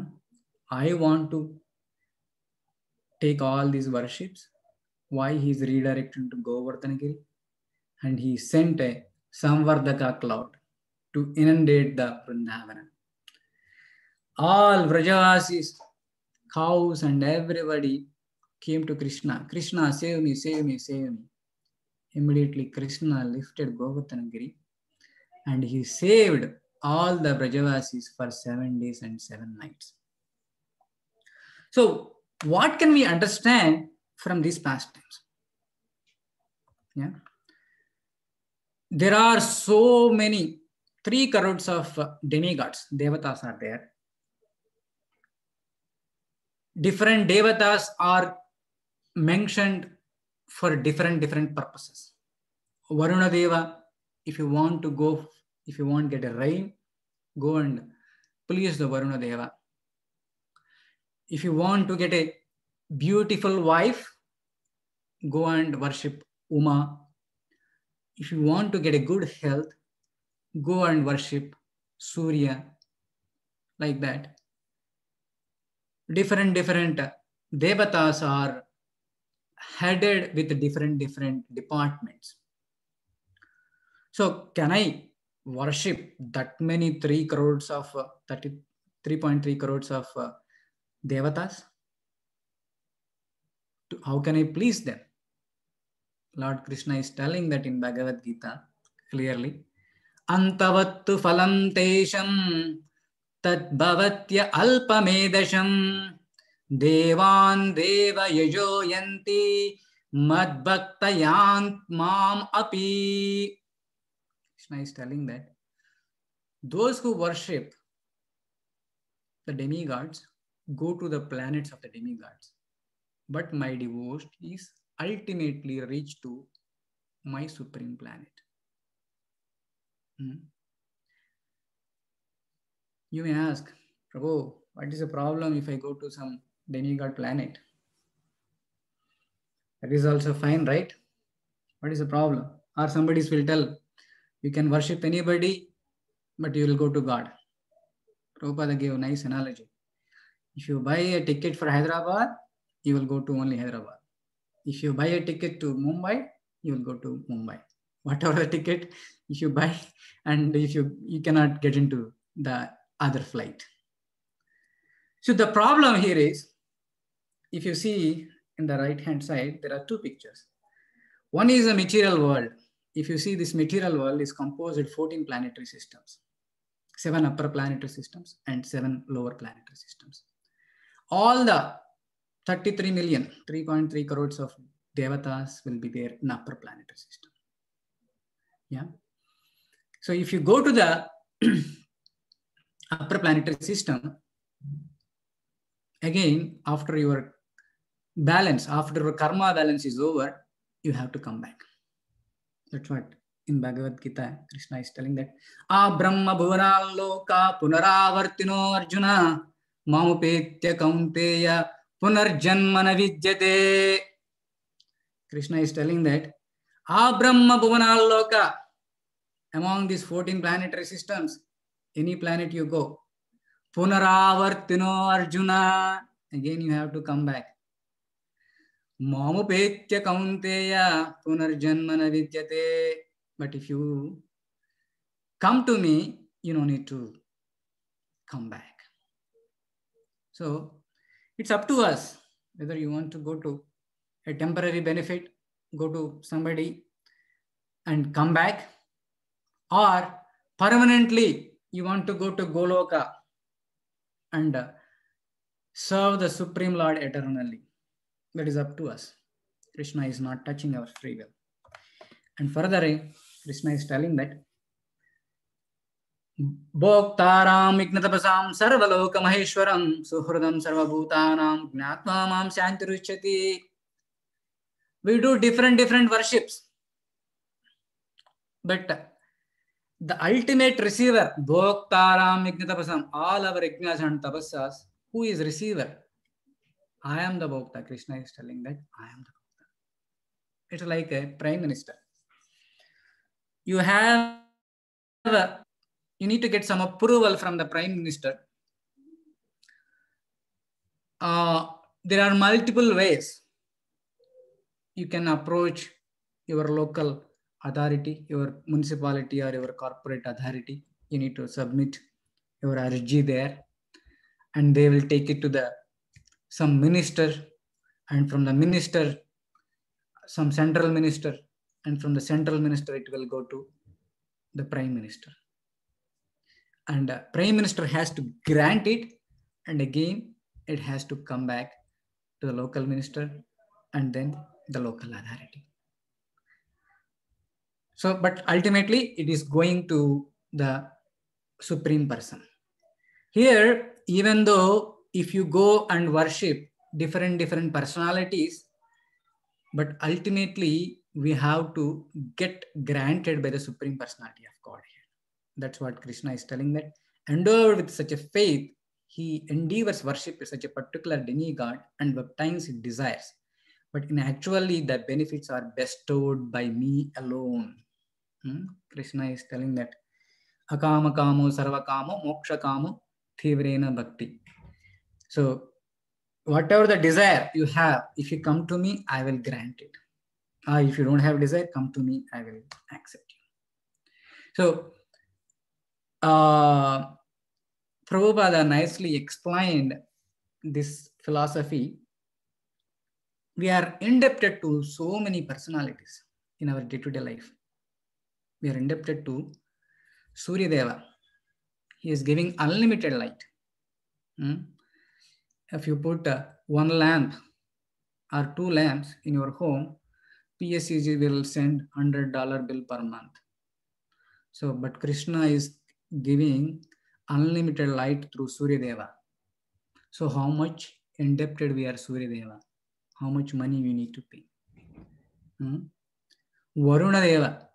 Varuna Deva is giving gallons and gallons of the water. If you want to buy one gallon of water, you need to pay one dollar, two dollar, based upon the brand. Yeah. So how much money we have to pay for the Varuna Deva? He is giving millions and trillions, billions of the water. We are so much indebted. And uh, we are so much indebted Vayu Deva. Hmm? He is giving unlimited oxygen to all of us. Hmm? If you go to JFK hospital and if you ask oxygen cylinder, they will charge $2,000. Huh? One cylinder of oxygen is $2,000. Let's imagine how many cylinders of the oxygen is there in this total creation. We are so much indebted. We are so much indebted to Pitru Devatas, all our forefathers. Hmm? They gave this body, wonderful body. They trained us, they fed us, they take care of us. We are indebted to so many Muni and Rishis. They gave wonderful knowledge. It's very difficult to worship everybody. Hmm? Prabhu, I am taking a lot of benefit from all these devatas. I want to bring all 3.3 crores of devatas into my home and I want to worship today Mangalaharati, all Aratis. It's not at all possible. So Krishna is telling that if you worship me, like a, if you pour a water to the root of the tree, automatically all the branches, twigs, leaves will be nourished. So, if you worship Lord Krishna, automatically all Upadevatas are also nourished because they're all part and parcel of the Supreme Lord. Hmm? If you see Vishwarupa picture, uh, while His Grace Simheshwar Prabhu was showing, he showed one Vishwarupa picture. In this Vishwarupa picture, we saw all Aditya, Suryas, Rudras, Kumaras, everybody was there. So they're all part and parcel of the law. So we no need to go different different places. If you please Krishna, automatically everything is granted. Krishna is like a supermarket. You no need to go to one place to the rice, one place to the oil, one place to the books, or one place to the something something. Hmm? All things are available at Krishna. So Krishna is the giver of everything. So if you worship Krishna, automatically everybody will be satisfied. We cannot, even if you take a day-to-day example, for our day-to-day activities, for we will pay federal tax or state tax. We don't go and pay tax to the education department, uh, tax to the sanitation department, tax to the street light department. No, we don't pay. We will pay only one place. Automatically, those funds will be distributed different different departments. Similarly, if you worship Lord Krishna, automatically all other devatas will be satisfied. Krishna is also explaining the same thing here. Matta parataram nanyat kinchadasti dhananjaya mayi sarvamidam protam sutre maniganaiva. Hmm? Everything rests upon me as a pearls are strung on the thread. Outward, we may not see. Oh, Krishna is not there. How can I see that? Hmm. Krishna himself is explaining. If you take a pearl necklace, you don't see how those pearls are strung together. We don't see inner thread. So similar, Krishna and Krishna's energy is the all the root cause of all these things. So we need to be engaged ourselves in the Krishna service. So automatically everybody will be pleased. Okay, Prabhu, uh, that's fine. I will do that. But what about uh, different different avatars you are telling? Hmm? Lord Ramachandra is there. Narasimhadeva is there. Hmm? What is this? Can you explain a little bit more? You may ask. So here, let me a little bit zoom this picture so that uh, we can see more elaborately. Chaitanya Mahaprabhu, with the mercy of Chaitanya Mahaprabhu, everything is explained very clearly. Sanatana Goswami, when he went to Chaitanya Mahaprabhu in Prayag, in Chaitanya Charitamrita Madhyalila 20th chapter, Chaitanya Mahaprabhu very clearly explaining different different avatars. Hmm. The root of all avatars, the root of all creation, the root of this whole Isvaraha Paramaha Krishna Satchidananda Vigraha Anadiradir Sarva Karana Karanaha. For all the causes of cause, he is the Krishna. Brahma himself is declared in Brahma Samhita. He is a Swayam Rupa. He is a original form as a cowherd boy in Vrindavana. Hmm? He is a Swayam Rupa. Again, the Swayam Rupa is expanded into two forms. One is Swayam Prakasha, other one is Vaibhava Prakasha. The Swayam Prakasha is nothing but multiple expansions with same features.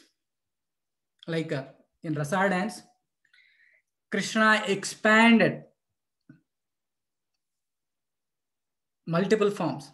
All the gopis are thinking like that Krishna is dancing with me. Krishna is dancing with me. Krishna is dancing with me. All the gopis are thinking like that. And also, when Krishna got married, 16,108 wives, he expanded himself 16,108 Krishnas. Simultaneously, he lived together all the palaces. Narada Mahamuni surprised. he went and saw managing one wife itself is very difficult. How Krishna is managing 16,108 wives, which is, I cannot imagine how he is doing. I want to go and see. Narada Mahamuni went. When he went to Dwaraka, Krishna was appeared different different palaces. He went to Rukmini Mata. He was talking with Rukmini Mata and he went to another palace and he was doing morning activities morning rituals and he went to another palace uh, he was playing with their kids so like that he was doing so many activities so that is called prabhava prakasha and vaibhava prakasha he himself will expand but his moods are different hmm? example Krishna and Balaram is same. But uh, Balaram will wear blue color dhoti.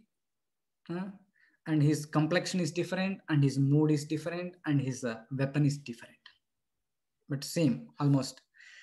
So, and then Vaibhava Prakasha again expanded into Tadekatma Rupa. Hmm? Different, different moods and different, different features. If you see, Vilasa forms. You will see four-handed Vaikuntha forms. Mm. All Vishnu Tattvas will be in four-handed Vaikuntha forms. And again, the Vilasa forms will be expanded further. Prabhava Vilasa, Vaibhava Vilasa. Uh, we see so many Narayana forms, so many Vishnu Tattvas, like uh, Vasudeva, Aniruddha, Sankarshana, Pradyumna, hmm? so many. First quadruple expansion is called Prabhava Vilasa, and second quadruple expansion is called Vaibhava Vilasa.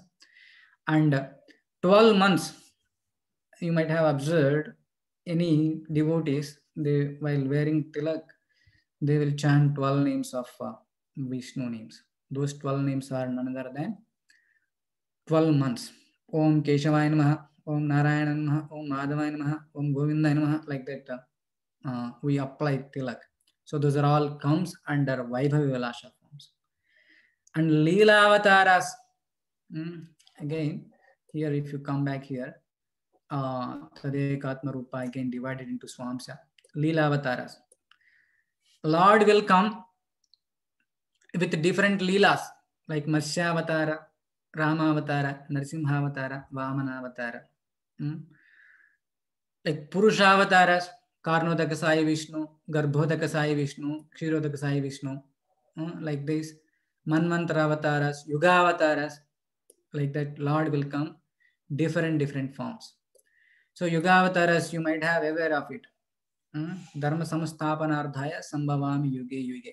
परित्राणाय साधूना विनाशाय चतुष्कृतम धर्म संस्थापनार्थाय संभवामि युगे युगे you might have heard this famous sloka lord will come himself krishna is himself is telling that i will come yuga every yuga he himself is telling that so we no need to confuse who is the ramachandra or who is the uh, other yuga narasimha avatara or who is that all are krishna only. He is they are coming to protect paritranaya sadhuna vinashaya chatushputam dharma samasthapanardhaya sambhavami yuge yuge.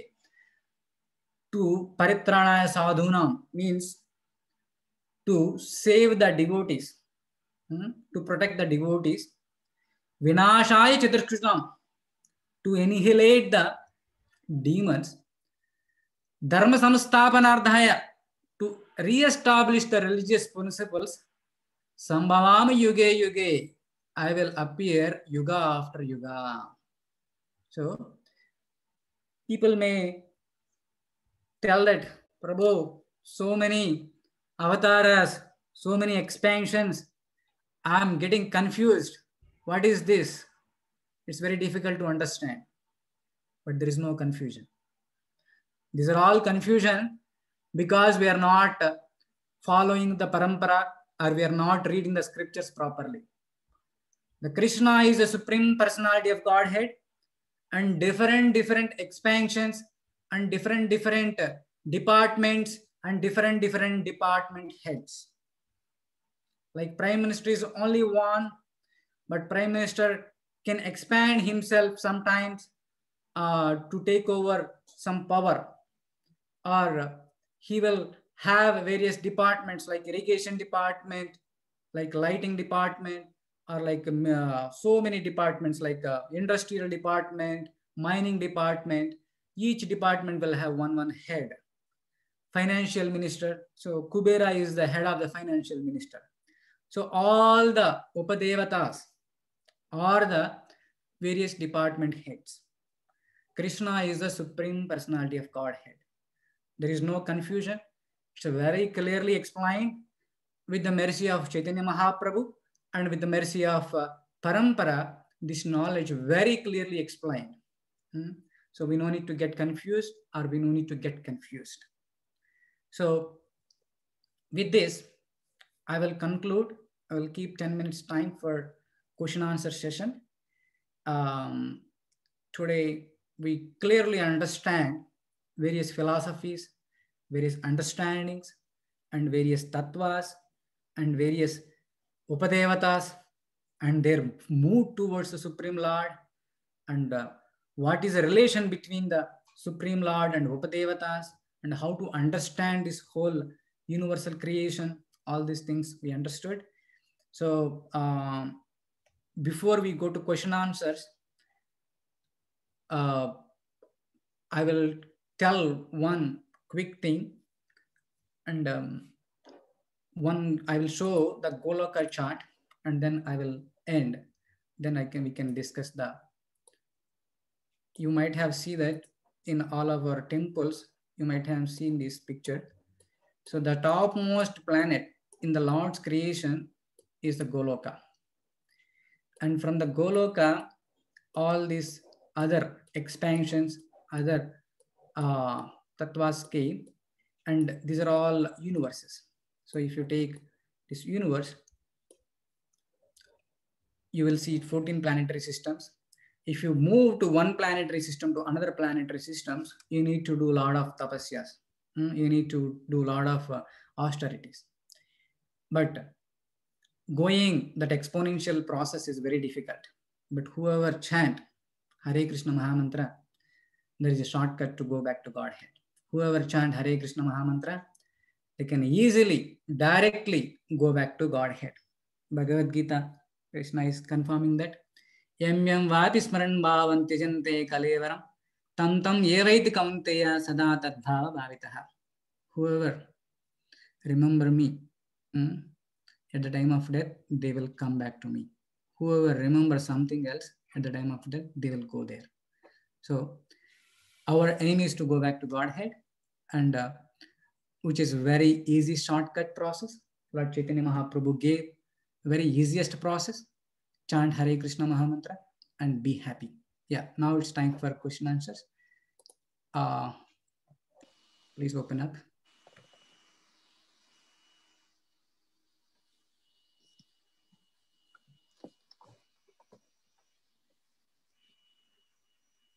Hare Krishna devotees, uh, please, if you have any reflections, any questions, concerns, comments, please, uh, please share so that we can uh, discuss further.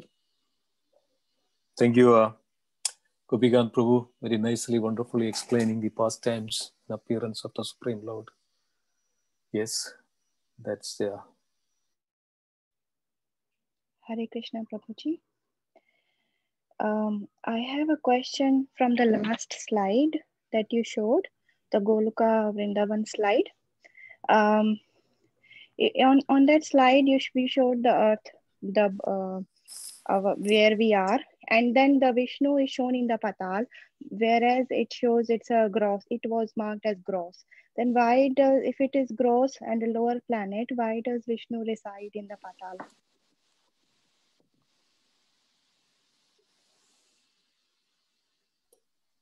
Not Patala. Let me share it again.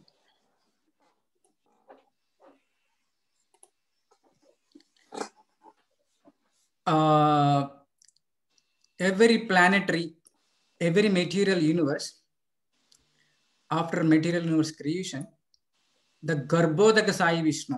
Garbhodaka Sai Vishnu is an expansion of uh, Lord Krishna himself. And uh, from the Garbhodaka Sai Vishnu, the from his novel, Lord Brahma will appear. The Brahma is the first living entity in the material universe.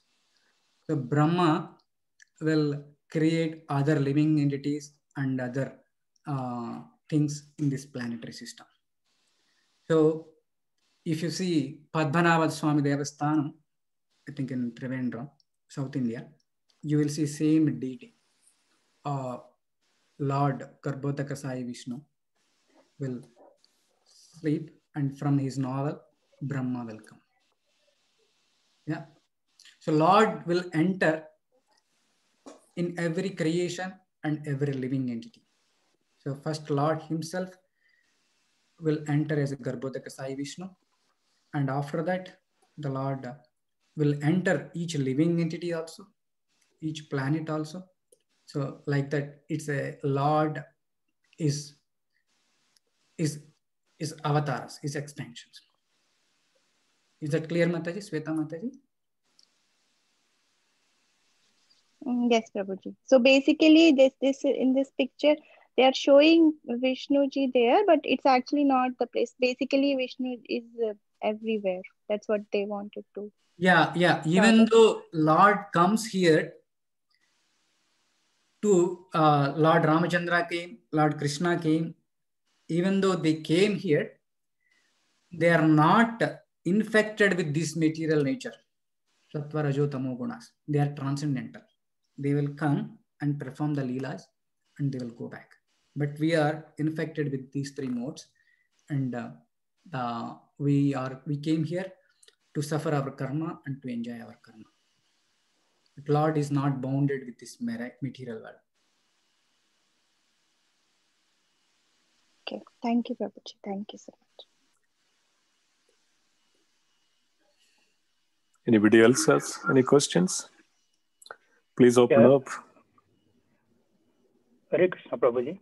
Go ahead, please. Uh, so wonderful class. I mean, I have a question related to first part of the class uh, related to who is the God. Sure. And over there, I mean, we discussed that uh, there are different names given into into different religion. Like in uh, Jainism is different. In uh, Christian Christianity is different. In uh, Islam is uh, Allah. So I mean, uh, here we are connecting ourselves with the Indian mythology, and we are connecting with the Bhagavad Gita, and where we are talking about Krishna is the supreme Lord, Krishna is the father of the universe, and he is the controller. So we can understand because of our uh, culture and our uh, understanding of the Krishna, and we can con- connect ourselves that okay, Krishna is the supreme Lord and uh, is, is the is the last stage of the supremacy. But how we can relate this into the other religion, and how we can convince others that okay, I mean Krishna is the supreme Lord. I mean, is it is it the universal truth or is just uh, limited to our Indian culture only?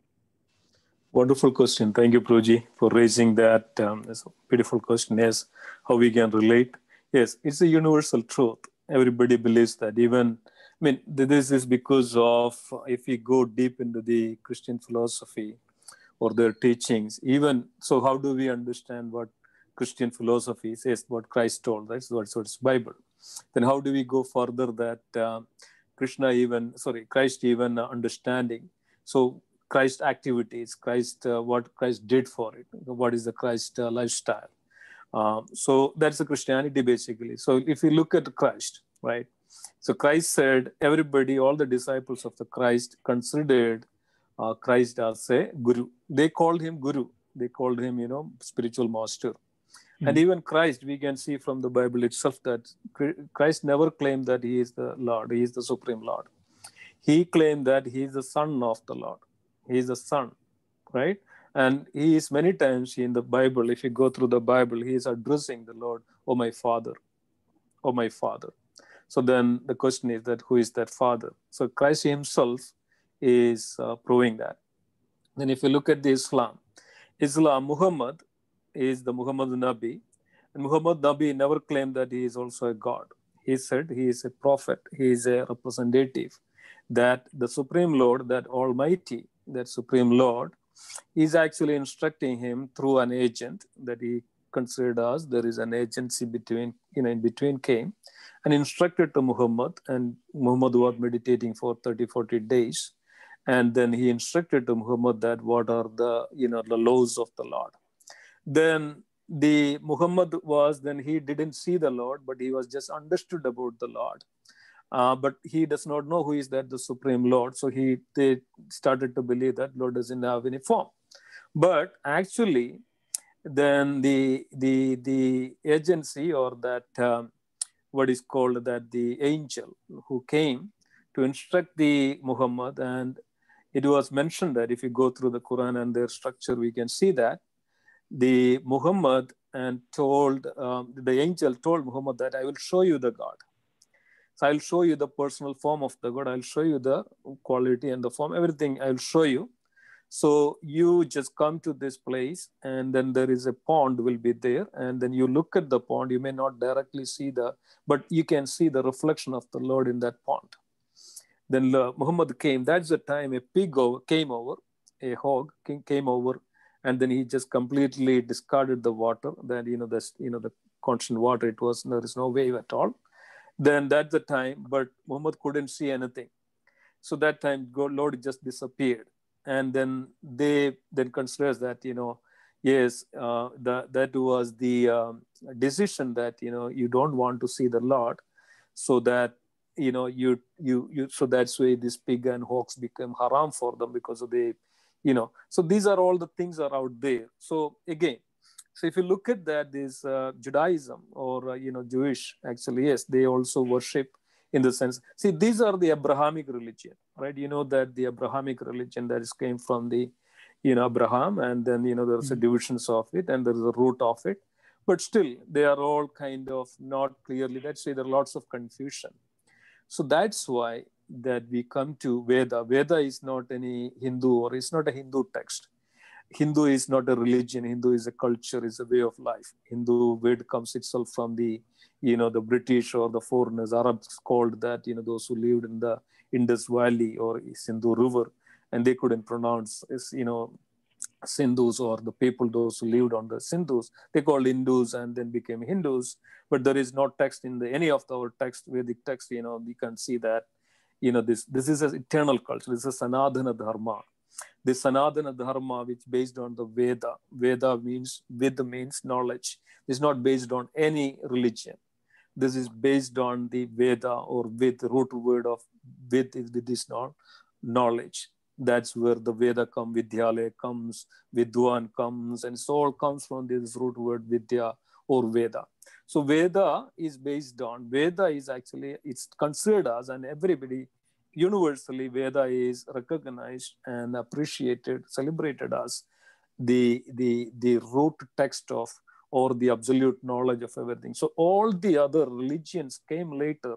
These religions are called Semitic religions. Semitic religions means that there is a certain maybe it's came up with as a cult initially then it's actually expanded themselves as the group of the people that's what we can see that in the case of islam we can see in the case of uh, judaism we can see in the case of uh, christianity if we can case. But hindu or we can say vedic culture or sanatana dharma is not like that.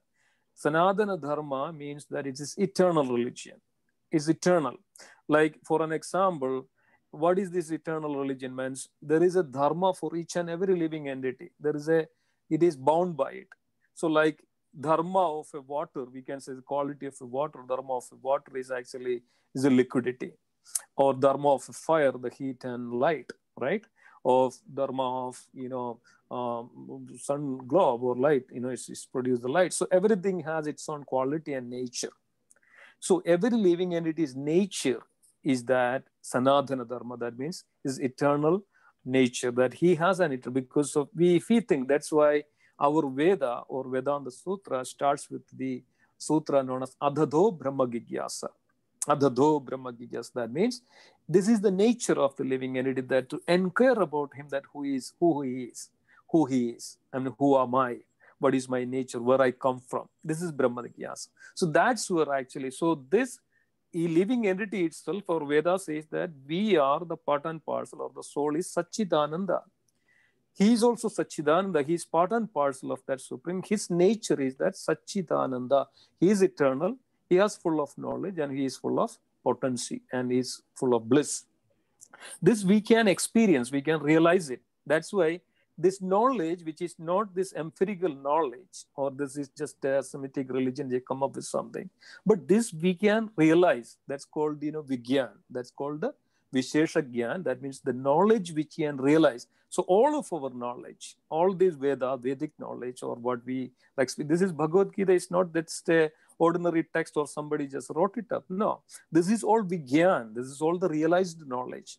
So that's where different sages, right? Think about that, you know, the sage Aryabhata or the great sages Vyasadeva or great sages be, before that. There are so many great sages. How they could say that, you know, the polar, you know, think about that 10,000 years ago, 15,000 years ago, there is a star on the North Pole. He is constant. How did they come to know that? Our scripture, our Bhagavad explains this that the North Pole, the pole star or Dhruva Nakshatra is stable, it's a constant there. How did he come to know that? Our scripture explained about the Bhugola. This is the realized knowledge. And in the Abrahamic, in the Western world, even 400 years ago, if somebody said that you know Earth is a globe, they would have killed him because they couldn't understand that. But our scripture, thousands of thousands of years ago, which mentioned about that, this is Gola, this Bhugola, this pole star mm-hmm. is a mm-hmm. constant. There are stars and there is so many. You think about that our scriptures so many. And it's all it's it's all connected to the our shastra. See if you look at the western philosophy or western science and their their philosophy there's a big gap between the science and their religion philosophy right? That's why the science cannot accept as a god for them. But our vedic philosophy or this vedic knowledge we veda itself is known as a shastra right? We say, mm-hmm. um, you know, Shastra, everything is a Shastra, right? We call it Shastra. Shastra meaning our Vedic text is known as a Shastra. But if you take that Shastra into the Western philosophy, they don't have that Shastra. They say it's a science. But ours is not like that. So if you look around like this, for an example, Veda said that, you know, just for an example, Srila Prabhupada gave this example, like a cow dung, right? Cow dung, you know, in the Western philosophy, or we can say that cow dung is a is a stool. Nobody, if if, if it's a it's a it's a discrete, it's a, it's a stool. But Veda says that if you if you take the cow dung, it's a very you know purifier, and if you sprinkle this and if you use this one, this cow dung is the best purifier. And in our culture, in our this understanding in the Veda, it is celebrated, it's mentioned that cow dung is the best purifier. And even the scientists can prove that even the cow dung is the best purifier and it can be utilized. But in the Western philosophy, it's just a stool. So how did mm-hmm. this all come from? Where this come from?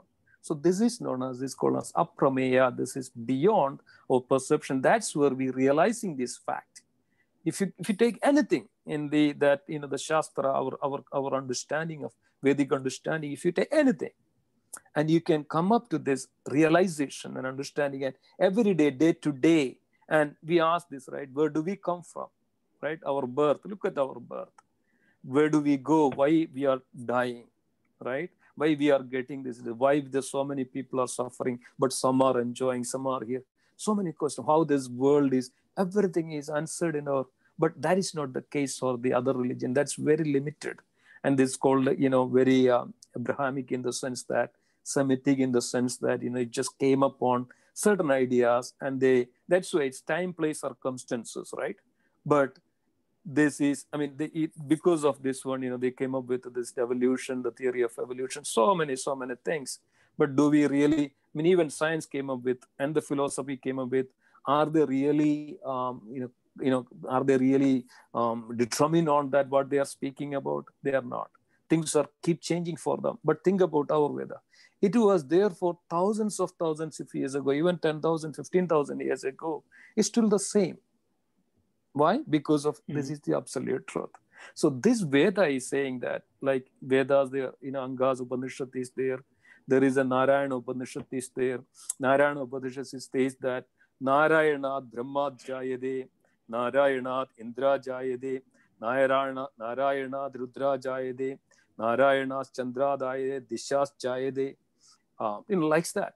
And then there is an Upanishad, Krishna Upanishad, Krishnaha, Krishna Sarve Karya, Krishnahu Karmadi Moolam, Krishnaha Adi Purusha Purushottama, Krishna Krishnadi Karmadi Moolam, Krishna Sarve Karya, Krishna Anadis Tasmina Janandar Bahiye.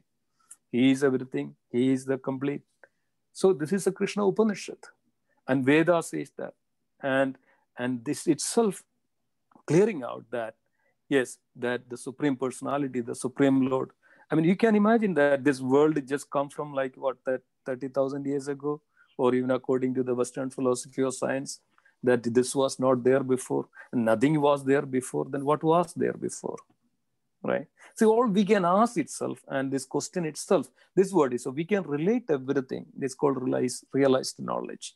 Realized everything to that the Vedic knowledge, and it is considered as it's universal. It's not that any sectarian, it's not that anything that which somebody come up with like that it's, it's, it's, it's from the Lord himself. And as it's mentioned that Supreme Lord instructed this knowledge to Manu, Swayambhuva Manu, and we are all humans, all living humans are considered as the the uh, the the sons of Manu. That's why we call us Manushya. Why we are calling us Manushya? Because of there is you know this itself that Manushya word itself is proves that right. Otherwise, where this where this Manushya come from or where this word start from? who started with it, Manushya, how it's come from. This is the way that we see the things, we analyze the things. Manushya, where does this come from? From the Manu. So who is this Manu? Manu is the son of Brahma. So we are all the Brahma. So that is the progeny. That's the, you know, the way the people come down into this world. But, you know, that's our Veda says, our scripture says. So yeah, I mean, this is the way we can see things, and uh, it's very clearly. And if you go detail into that, we can understand. And if you go detail, I mean, it maybe take much time to understand the Bhagavad Gita in detail. But if you take Bhagavad Gita, this is the essence of everything, is the essence of that Vedanta Sutra, Adado Brahma Jijnasa, right? Janmadi Asya Yadaha, everything come from me.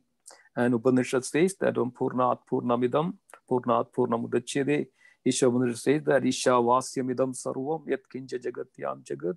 So, like that, are so many, so many. And if you relate with it, it's not that just blind faith we take it, but you take it yourself, Mhm. apply it to yourself, and put it and see that you know what what is comes out of it.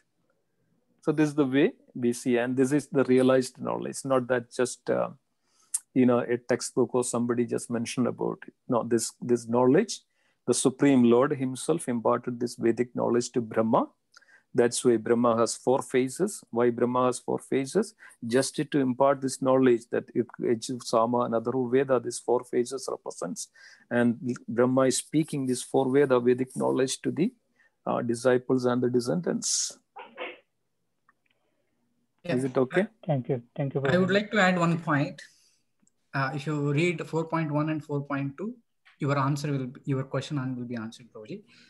Uh, simple. Uh, when Krishna spoke Bhagavad Gita, there was no Christianity, there was no Islamism, there is no Buddhism, nothing was there. So these are all isms came recently, like 2000 years ago Christianity came, 1500 years ago Islamism came, and uh, 1000 years ago Buddhism came. So uh, Prabhupada clearly mentioned that whoever is following Bhagavad Gita, they can better Christian, they can become better Muslim, and they can become better Buddhism.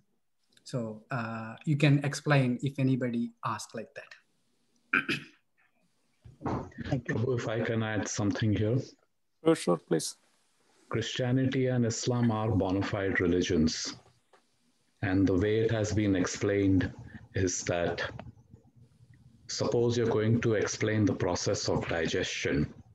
The way the process of digestion is explained to a child who's in elementary school will be very basic level. Then the next is if someone goes to high school, it will be having little more details. Then a person who goes into college will be much more details. And someone who goes into medical schools will have even more details. And someone who's an internal gastroenterologist, he'll have tremendous amount of details. So what we talk about is the person's not age, but the consciousness of people. So the consciousness based on time, place, circumstance, the consciousness of people gets degraded and then to bring them back. And similarly in our Vedas, Gautama Buddha came in and he took the entire mass away from the Vedas and he says this is all false. But there was a purpose because of whatever nonsense was going on in the name of Vedas. So Christianity, Islam, uh, Lord Jesus Christ, Muhammad Paigambar, Prophet Muhammad, they are considered gurus. In fact, the word Christ, Christ comes from the root word Christos, and another word for Krishna is Krista, the Son of God. So, Jesus Christ, the Son of God, we should not try to um, minimize. Uh, we offer respects, but we got to understand as like what Prabhuji said, it came about a thousand, two thousand, how many ever years the uh, history uh, records that, but they are still bona fide uh, religions. And the other thing, final point is that um, everyone is establishing a connection with God, Krishna, everyone. So one understanding is that the river flows on top of the ground, the river also flows underground. And when it is flowing underground, we dig these wells. So in one particular village, there will be a well, and then in some other particular village, there'll be another well. And the way they have constructed that well, some may not have any barrier around it. It may just be a hole in the ground. Some may have a barrier, different types. But the water going is all the same, and how people are able to drink from it. And for a devotee, the most important one of these attributes for a devotee is loyalty and faithfulness. So, loyalty and faithfulness we can see in our experience is the maximum in a dog. A dog doesn't differentiate whether his master is wearing a raincoat or whether he is wearing a tuxedo. He recognizes his master. And similarly, in our Gita, when it says the Pandit Samadarshana, is that when we see all other living entities, we see them And you know, if somebody is worshipping, and that's what to uh, Gopi Prabhu's point, okay, Prabhupada says that I'm not come here to convert you. So the only thing we should understand is we've got this gift of detailed knowledge. That is the mercy of Prabhupada and the Acharyas that we have detailed information. But if there is someone who is doing Christianity, you know, he can do his Christianity. If there is someone who's doing Islam, he does his Islam. So, No, I understand that part. I mean, I totally understand. But so in that follow-up part, I mean, so all these new religions, which you just said that it came like 2000 years back or something in, in recent years. Uh, I mean, uh, so all those goes into the Supreme Lord Krishna. I mean, kind of, uh, can we consider that as a like 33 crore uh, demigods uh, that goes into the final supremacy of the Krishna? Similarly, Christianity, Islam, all those goes also toward the uh, Krishna as a root. I mean, as a supremacy and the supreme Yes. uh, personality. Yes, exactly. That answer to that question is true because of there is only one God. There cannot be many God. Isn't it correct? Correct. That- So if that one God is that, you know, if even Jesus said that my Father Allah said that Almighty has a person, he has a form, he has. So Bhagavad explains all about it. His abode, his nature, what he does. And it's true. I mean, we can see that even science proven that we can see only 25 percentage of the his, his creation. That's, you know, Bhagavatam says that that's Ekavada Vibhuti. And then 75 percentage that's which is not, we don't see it, but that's beyond our conception and limit but that is that doesn't mean that there is nothing beyond it yes everything is there so this this understanding that supreme lord is one his name is krishna and he is all attractive the name of krishna is all the meaning of krishna is means all attractive the meaning of rama means the supreme enjoyer and he is the creator he is the uh, he is the maintainer he is the annihilator vishnu vishnu means a form itself the meaning itself is he is great is is wonderful, is great. And Jishnu is, you know, nobody can conquer him. That's the meaning of Jishnu. So so many names came upon it. So that's why you know we can see that there are so many names, you know, related to the Supreme Lord. But Supreme Lord is one, that Krishna is, that the Supreme Lord is Krishna. And everything goes to him. Doesn't matter. I mean, see, why it is this as mentioned that this depends on the time, place, and circumstances, right? Mhm. So the if you look at the Mediterranean or the Mid- Mid- Middle East, Mhm. people were very struggling, and then for them we cannot uh, impart this um, transcendental knowledge like that. Okay, you should not kill, you should not, you should eat only the um, you know um, you know vegetarians and vegetables, and you should worship in such a way that it is not possible that time. So Lord is also send his uh, representative as Muhammad and he instructed in such a way that people were some point of time people were not even aware of who is god and that's why there is a time in between that medieval time. People were not even aware that krishna even said that due course of time it's all diminishes. This knowledge goes. People does not know who is god who what to do. So that time the lord sends his the representatives. And then so that they can slowly come out they can slowly come out they can at least believe in something that there is an higher being there is a supreme lord there is an higher being that you should some way or other you should connect it. You should connect mm-hmm. So that's where also you know in the case of christianity or in the case of islam whatever it is so lord's arrangement all these are lord's arrangement so in the bhagavad gita it's mentioned that ye yadamam prabadhyante stam tadaiva sajamyakam mama vartamanu vartande manushya partha sarvashakha the fourth chapter of 11th verse what is mentioned that everybody, I reward them accordingly how they surrender unto me. Right? So this is the journey. So this is journey. That's why in the Bhagavatam mentioned that one who takes the birth in the la- land of uh, Bharata Varsha is most fortunate because of there is everything is there to understand that you know who is the supreme. He is most fortunate. But there may be people, those who taken birth on the other regions of the world. Yes, it may not be up to, but there is a way that slowly they can there are some processes out there so that they can connect to the supreme indirectly and then everybody then as krishna says that also everybody has to come to me mam yedamam prabhadindes tam sadaiva bhajam mama vartamanu vartande manushyapat Everybody follows my path. Krishna says that. Everybody follows my path. Mama vartamanu vartande. Everybody follows my path. But Mhm. there is one indirect and there is one direct. So it's also mentioned that it's very, very fortunate that one who is in common Krishna consciousness in such a way that is mentioned that Manushyanam Sahasreshu Kaschit Siddhaye. For many, many millions of lives, that one who comes to know about Krishna and Kaschit Adati Siddhanam um, Mam Edi Tattvadaha, Mam Veti Tattvadaha. That means one who knows me after many, many millions of birth or out of many, many thousand, many, many millions, one who knows me and out of the millions of those who knows me, that one who really realized me, one who really understand me. And that's what it is. And then also Krishna says that in the seventh chapter, Manushyanam Sahasreshu, um, uh, no, Bahunam Janmanamande, um, Gyanavan Mam Prabhadyante. So this is the this is the knowledge. Bahunam Janmanamande, after many, many millions of lifetimes, Gyanavan Mam Prabhadyante, Vasudevam Sarvamiti, Samahatma Sudurlabhaha. That means after many, many, many millions of lifetimes, after one who understand this transcendental knowledge about me, then Bahunam Janmanamande Gyanavan Mam Prabhadyante, Vasudevam Sarvamiti. Such people, the Supreme Lord is everything.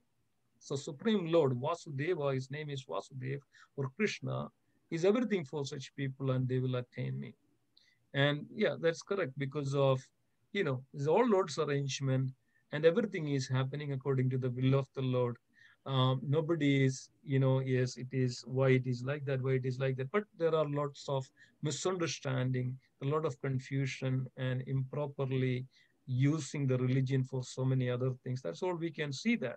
Yes, this Bhagavad Gita explains that if you look at the Bhagavad Gita chapter 16, Lord clearly mentioned about these qualities of the people around the world. That's demoniac qualities and the divine qualities. Lord explains everything very well, so nicely. So we can see that around the world. Yes, everything goes up to that Supreme Lord. His name is Krishna, and he's all attractive. And that's you know explained about that is this quality, his nature, who is that? He sees, he is there. I mean, I will just give you one example in the we know all know that Udupi Sri Krishna Kshetra, Udupi in uh, in Karnataka, and it's not it's not it's it's Madhavacharya maybe 300 uh, years back. There was a great saint Madhavacharya installed the deity of Supreme Lord Sri Krishna. His name is known as uh, Udupi Krishna or Balagopala. And we know that those times there were lots of these, uh, you know, discriminations were there. There is a caste system, and some people are not allowed to go to the temple and this uh, wonderful uh, there is a wonderful uh, devotee of lord. He was so dear to him. He was so wonderful. And he was so devoted to krishna but he is actually born in a lower caste. And in the lower caste they are not allowed to enter the temple. But he has such a faith such an intention such a desire to see the supreme lord. And there was one festival happening on a, you know early there is a festival. And he thought that you know if i just go along with the crowd into the temple and if i take a darshan of the lord and then you know nobody will notice me so that I can see the Lord. So what he did this, his name was Kanagadas. He was not a year old. I mean, he may be like uh, eight, nine years old or 14 years old. I mean, that's still uh, has to confirm. But the Kanagadas was very, very devoted to the Supreme Lord. So he went to the inside the temple on this festival day, and then he uh, somehow took the darshan of it and then the, all on a sudden somebody noticed him that you know he are, he is not supposed to be there inside the temple. And then they caught him and this kanagadas they bind they bound him on the tree nearby on the opposite side. That's the you know the west side of the uh, temple. And then they beat him like anything. They thrown the you know the stones and you know bleeding he was bleeding. And people were you know mercilessly persecuting him. And then this kanagadas just uh, cried and uh, you know just cried and talked loudly that, oh Lord, what kind of mistakes I did. I just wanted to see you. And this is what is, uh, you know, I get the results. Oh Lord, I just came to see you. And uh, can I have your darshan? Think about that. If you still go to the temple in Udupi temple there, every temple actually they construct in a such a way that the deity is actually facing towards the east.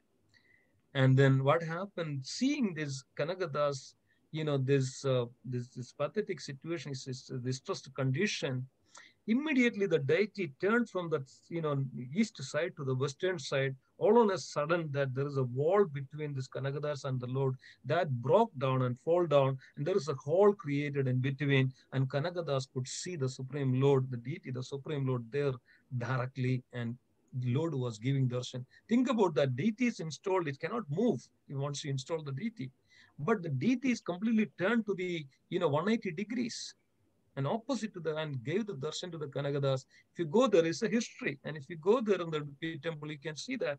And that the main entrance door is still, since then, that door is completely closed by itself.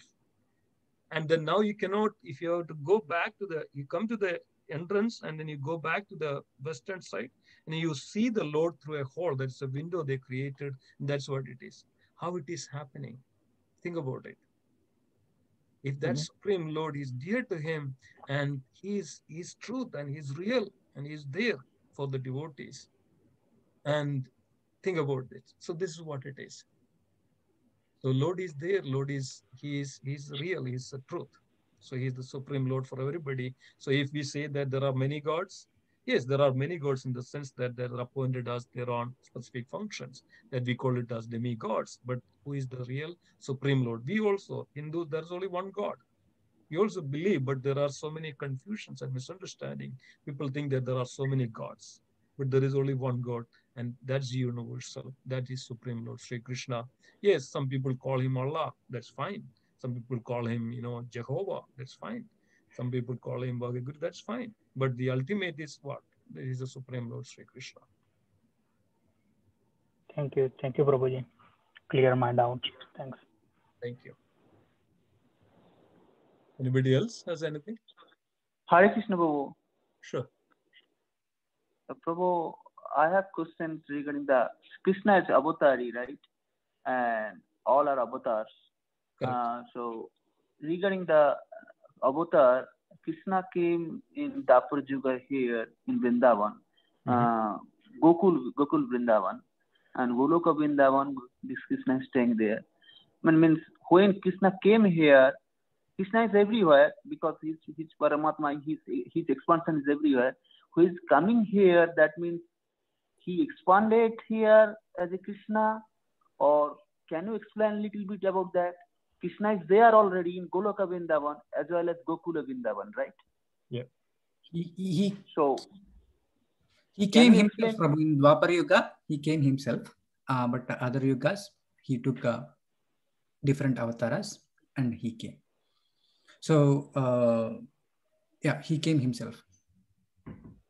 No, yeah, the, okay, the question of you is how Lord can be here and everywhere, right? That's your question, right, Proji? Yes. Yes, question is that uh, simultaneously he's staying in in in Goku, Goku, Golok Vrindavan and simultaneously staying here, or he came here, or what is that? Can can you explain a little bit clearly? Wonderful, very nice question. Uh, Gopikant Prabhu, you want to go first, or I will I will explain first. Yes, Prabhu. Uh, Krishna can be anywhere, anytime even though um, Krishna, you cannot feel like that. Krishna is there in Goloka. Yatra gayanti madbhakta tatra tishtami narada. Wherever we are glorifying Krishna, he will come and stay here. But especially if you take that uh, Dwarka Lila, he came himself and he performed the Leelas. Uh, like that, Krishna will go different different planets, different different yugas, as per the need as I said, Paritranaya Sadhuna, and uh, he will perform his leelas and he will go back. He's avatar. He will come back from Goloka, and once his leela is over, he will go back. Ava means top, Tari means down. So to come down. So he will come down from the 10th floor. After the job is over, he will go back. Now, my question is that Prabhu, he yeah. come down here, that means he was he was not staying there. He was staying there, right? He's staying in Goloka as well there. Yes, simultaneously. He will be there simultaneously both the places. Yeah, yeah. The uh, the way we can explain that, Proji, yes, uh, one day of Brahma, that means thousand yuga cycle. That's where the Krishna come as it is. That means Krishna comes down. I mean, so then the, your question is that what happens to then Golok Vrindavan? There is nothing will happen there. So this is where the the Krishna's real, uh, you know, he's, he's the supreme Lord. He's the superior. He's supreme, and he's this is the where the real, um, you know, the the the answer comes. That means Krishna's internal potency or the Yoga Maya. This Yoga Maya arranges all this even the pastimes in the Golok Vrindavan, even the pastimes into the Bhuloka Vrindavan. And Bhuloka Vrindavan is an expansion or the same Vrindavan. It's, we cannot differentiate differentiate the Golok Vrindavan and the Bhuloka Vrindavan. It's same. So then question is that what happens to Golok Vrindavan? It's the same. It's a Golok Vrindavan and Bhulok Vrindavan is same or some says it's an expansion of the Bulogarunda expands to the Bhuloka Vrindavan, but it's same. So the pastimes which is happening, same pastimes happens in the Goloka Vrindavan and the Bhuloka Vrindavan. There is no difference. That's the same pastime happens. But there is a little slight difference that in the Bhuloga there is, you know, Krishna is coming as a child, Krishna is coming as a, you know, killing lot of demons, but that never happens in the Golok Goloka Vrindavan, he's always youthful form. He's always engaging into the, and who is arranging this? I mean, yesterday there was a question about the time that I think you asked the question about time. In the in the Bhulokarunda, in the in the in the material world, there is a time, but what happens to the time into the you know spiritual world? Yes, there is no time. Time is known as Kala, or in the material world is known as Kala Shakti. But in the spiritual world, there is no time because there's no need of time. And why? Because of there is no change the change, the, the potency of the change is the Kala Shakti or the time factor. That's into the material world. But in the spiritual world, everything arranged by Yoga Maya, his internal potency himself. Everything arranges his own expand, his own internal potency called Yoga Maya. Yoga Maya arranges everything. So Krishna's will, but Yoga Maya arranges everything. So that the same happens also. That means in the Golok Vrindavan, Bhuloka Vrindavan, Krishna never leaves Vrindavan. That is a fact. So Acharya says that Krishna never leaves Vrindavan. Then we may ask the question, what happened to the Krishna went to Mathura, Krishna went to Dwaraka. Yes, that is his immediate expansion called as Vasudeva. That's we saw that, you know, the Tadegatmaka Rupa, right? That Krishna is actually came as Vasudeva form. That's called Vasudeva Krishna. That means his immediate expansion, like, you know, um, you know, that um, Krishna is again, is, is, is, is, is expansions or plenary expansions of it. So that Vasudeva Krishna is actually, you know, went to Mathura or Dwaraka, that we can see that from the story of Akrura. Akrura brought the Krishna and Balaram and came to the, the border of the Mathura and the Gokul. There is a place where the Krishna, Akrura went for the uh, snan. There Krishna and could see that, you know, Krishna then transformed to the Vasudeva Krishna from there, and it's, we can see that. So that is also there. So Krishna never leaves Vrindavan. Did I answer the question? Yes, so very nicely you explained these things. I have another question, but time is over right now. Sorry for that, but uh, uh, uh I have another question regarding the Ladini and uh, Sandhini and uh, Sambit. There is some three. Yes, Sandhini potency, Samrudh potency, and Ladini potency. Yes. Yes. And so those are the things I need uh, need to know about, need to know in details.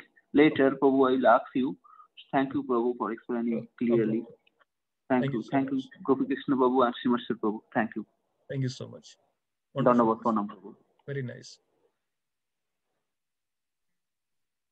Okay, anybody else has anything to add? Hare Krishna Prabhuji. Hare Krishna. See, as I'm a beginner, Prabhuji, okay. as you say, once if we come into the Krishna consciousness, so we are relieved from the going to Yamaloka, whatever, who Yamraj, when he's uh, during our death time, Yamaraj comes, and the moment we hear Hare Krishna mantra, he will be not taking us to the Yamalok.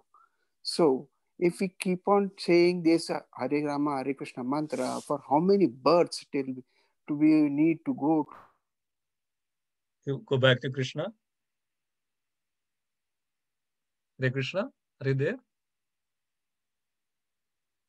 Haribol? Hare Krishna, are you there? Ramesh Prabhu, can you unmute? You are talking in the mute, it seems. Yeah, I think probably it's became un- okay. Yeah, go ahead. Hare, Hare Krishna Prabhuji. Yeah. So this is my question is how many millions of births we will take on for and when we will be going to spiritual world. Okay. Can I have a? Yeah, sure. Srila Prabhupada, the same questions, some devotees, some, you know, people ask the same questions to Srila Prabhupada, our founder Acharya, His Divine Grace Sri Bhakti Vedanta Swami Srila Prabhupada. You know what was the answer Srila Prabhupada gave? This lifetime. You don't need to take millions of lifetime after this lifetime itself, you can go back. If you keep chant the holy name with your sincere, with your pure intention, that you develop, gradually you develop love for the Lord, and then that love for the Lord itself uh, takes back to Krishna in this lifetime itself. And if you are keeping that some material desires and hankering that I kind of, you know, uh, it depends how much degree of the material desires you have in your mind that I need to enjoy this, I need to do this, I need to do this, then, you know, it depends on that, that much lifetime. But if we start like one percentage in this lifetime, and this is eternal. If you if you say Hare and if you say Krishna, this is eternal because of Krishna is eternal, his form is eternal, his name is eternal, his quality is eternal. This is spiritual. This is nothing to do with this material world. So this we are talking about the spiritual potency, spiritual name, spiritual quality, and spiritual attributes. So these names, qualities are all spiritual attributes, just beyond these material qualities. So this is pure. If you come in contact with like we know that you know if you if you have some dirt in your body if you wash with the clean water it purifies it goes away. And that's the nature of that the pure water. Or like we know that you know mercury if there is a gold or some other metals if you put it in the mercury that it can actually purify that metal right? So there are Yes, so many things like that. So krishna consciousness or the name of krishna the form of krishna the remembrance meditation all these are actually the the this this very purificatory this is eternal this not you know belongs to this material world. So if you come in contact with it that means you are come in contact with krishna that you are you are connecting with krishna. That is eternal that never goes away. So if you do that one percentage or one or five percentage or one percentage this time so what you are going to get? You're going to get a birth like that. That means your consciousness will be that with krishna. That means you have created an eternal relationship with Krishna in this lifetime. So that never goes away. So Krishna says that in the Bhagavad Gita to Arjuna. Krishna saying this to Arjuna, Arjuna, declare it boldly. Name bhakta pranakshari, my devotees never perishes. This is a very wonderful meaning. My devotees never perishes, never goes away, never goes down. And then he takes a birth. If it is started with the five percentage in this life, you are getting a birth accordingly. That's Krishna also mentioned that you get a family and you get a birth accordingly that you can develop from that 5%. Then you may be developing that 10% in your lifetime. That means it's very what is called accumulating. That means, you know, if you develop some good quality, then that quality itself will, you know, support you. Dharma rakshati rakshatu. That means if you follow the dharma, dharma itself will protect you. Okay. So then what happens? Then you develop from there. And if you have developed that such a degree of that Krishna consciousness in this life, that keep chanting that Shravanam, Kirtanam, Vishnu Smaranam, Pada Sevanam, Archanam, Vandanam, Dasyam, Sakyam, Atma Nivedanam, this lifetime itself we can go back to Krishna. No need of millions of lifetime. It's again, of course, it's up to us that what is our mood, what is our intention, what is our level of purity, and yes, it's possible that we can go back to Godhead in this life itself, that provided that we sincerely worship and sincerely develop the loving devotion to the Supreme Lord. Yes, of course, as Srila Prabhupada mentioned that, as the Padma Purana mentioned that, in this age of Kali, Harir Nama, Harir Nama, Harir Nama Iva Kevalam, Kalau Nasteva, Nasteva, Nasteva Gidaranyada. There is no other way, there is no other way, there is no other way you know, except the chanting of the holy name to attain the Supreme Lord, especially in this age of Kali. Yes, you have a wonderful, you have a wonderful, uh, you know, uh, desire of wonderful intention of chanting the holy name. Keep chant the holy name. Definitely, Krishna will give a wonderful abode for you. And Krishna also proclaiming this in the, you know, mentioning this in the second chapter, 40th verse. Um, it is mentioned that Neko Vikramana ಪ್ರತ್ಯವಾಯೋನ ವಿದ್ಯದೆ ಸ್ವಲ್ಪಂ ಅಪಿ ಅಪಿಯಸ್ಯ ಧರ್ಮಸ್ಯ ತ್ರಾಯದೋ ಮಗದೋ ಭಯಾನ್ even solpam, solpam obviously dharmas, even if you practice little bit, and from the prayado mahado bhayan, that means it will be relieved from you the greatest danger. What is the greatest danger?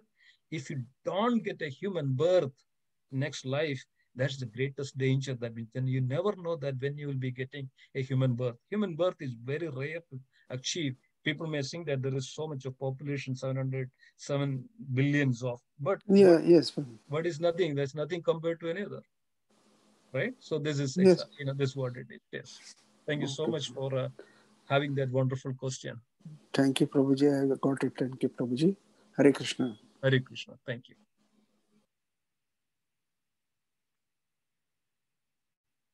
Anybody else? Anything to add? Okay, wonderful. Thank Uh, so much. Ramesh Prabhu, just I would like to recommend you, uh, you since you are a new person, the Krishna consciousness is a sadhana bhakti. So you can't come into the contact of one of us. So they will uh, uh, guide you the next things and how to go forward in Krishna consciousness. Thank, thank, thank you, Prabhuji. Thank you. Yeah, so Hare Krishna. Hare Bol Krishna. Very good, very good. Thank you so much. Very nice. And yes, you are there. You are part of this team, I believe. You get the this group, Roji. How did you join? Krishna Nama Prabhuji is my Guruji, Prabhuji. Okay, wonderful. Then nothing to worry. Yeah, then uh, he will guide you. He will guide you. Uh, just follow him. Thank you, Prabhuji. Hare Krishna, Prabhuji. Hare Krishna. Okay, so anything else? Otherwise, let's uh, let's conclude. If nothing else, we'll uh, pass to Madhubadi Prabhu. Hare Krishna, Prabhuji. Please. Conclude. Thank you, Simheshwar Prabhu and Gopikanta Prabhu, for this nice session. Session number three Who is God? And wonderful discussions. So, tomorrow we're going to have our day four. Why do uh, bad things happen to good people? This entire theory of reincarnation, laws of nature, um, laws of karma, everything uh, would be discussed tomorrow. Um, so please join in on the same Zoom ID. Uh, 6.30 to 7 will be Kirtan, 7 to 9 will be discussion by Govinda Nandani Mataji and Kalandi Mataji. So, uh, yep. And as we have been mentioning, every day in the morning and evening, we have this Satasanga. 5 to 6.30 in the morning is a mantra meditation and 6.30 to 7 is a uh, Bhagavad, Bhagavatam discussion. So you're most welcome to join. If you like a Zoom ID for that, please contact us or uh, we will also post it on the chat um, tomorrow. Yeah. If you are not in our email ID, uh, please post your, uh, you can send us a note. Uh, I'm just um, uh, info at iskconnj.com uh, or, or contact one of us um, and we can give more detail. Okay, thank you very much. Alrighty. We like to offer, like, you know, normally we always end our session by offering obeisances to all the assembled. All of you are Vaishnavas that you are spending your valuable time hearing about the Supreme Lord. That's the quality of a Vaishnava. So we like to offer our humble obeisances to all of you by this wonderful prayer.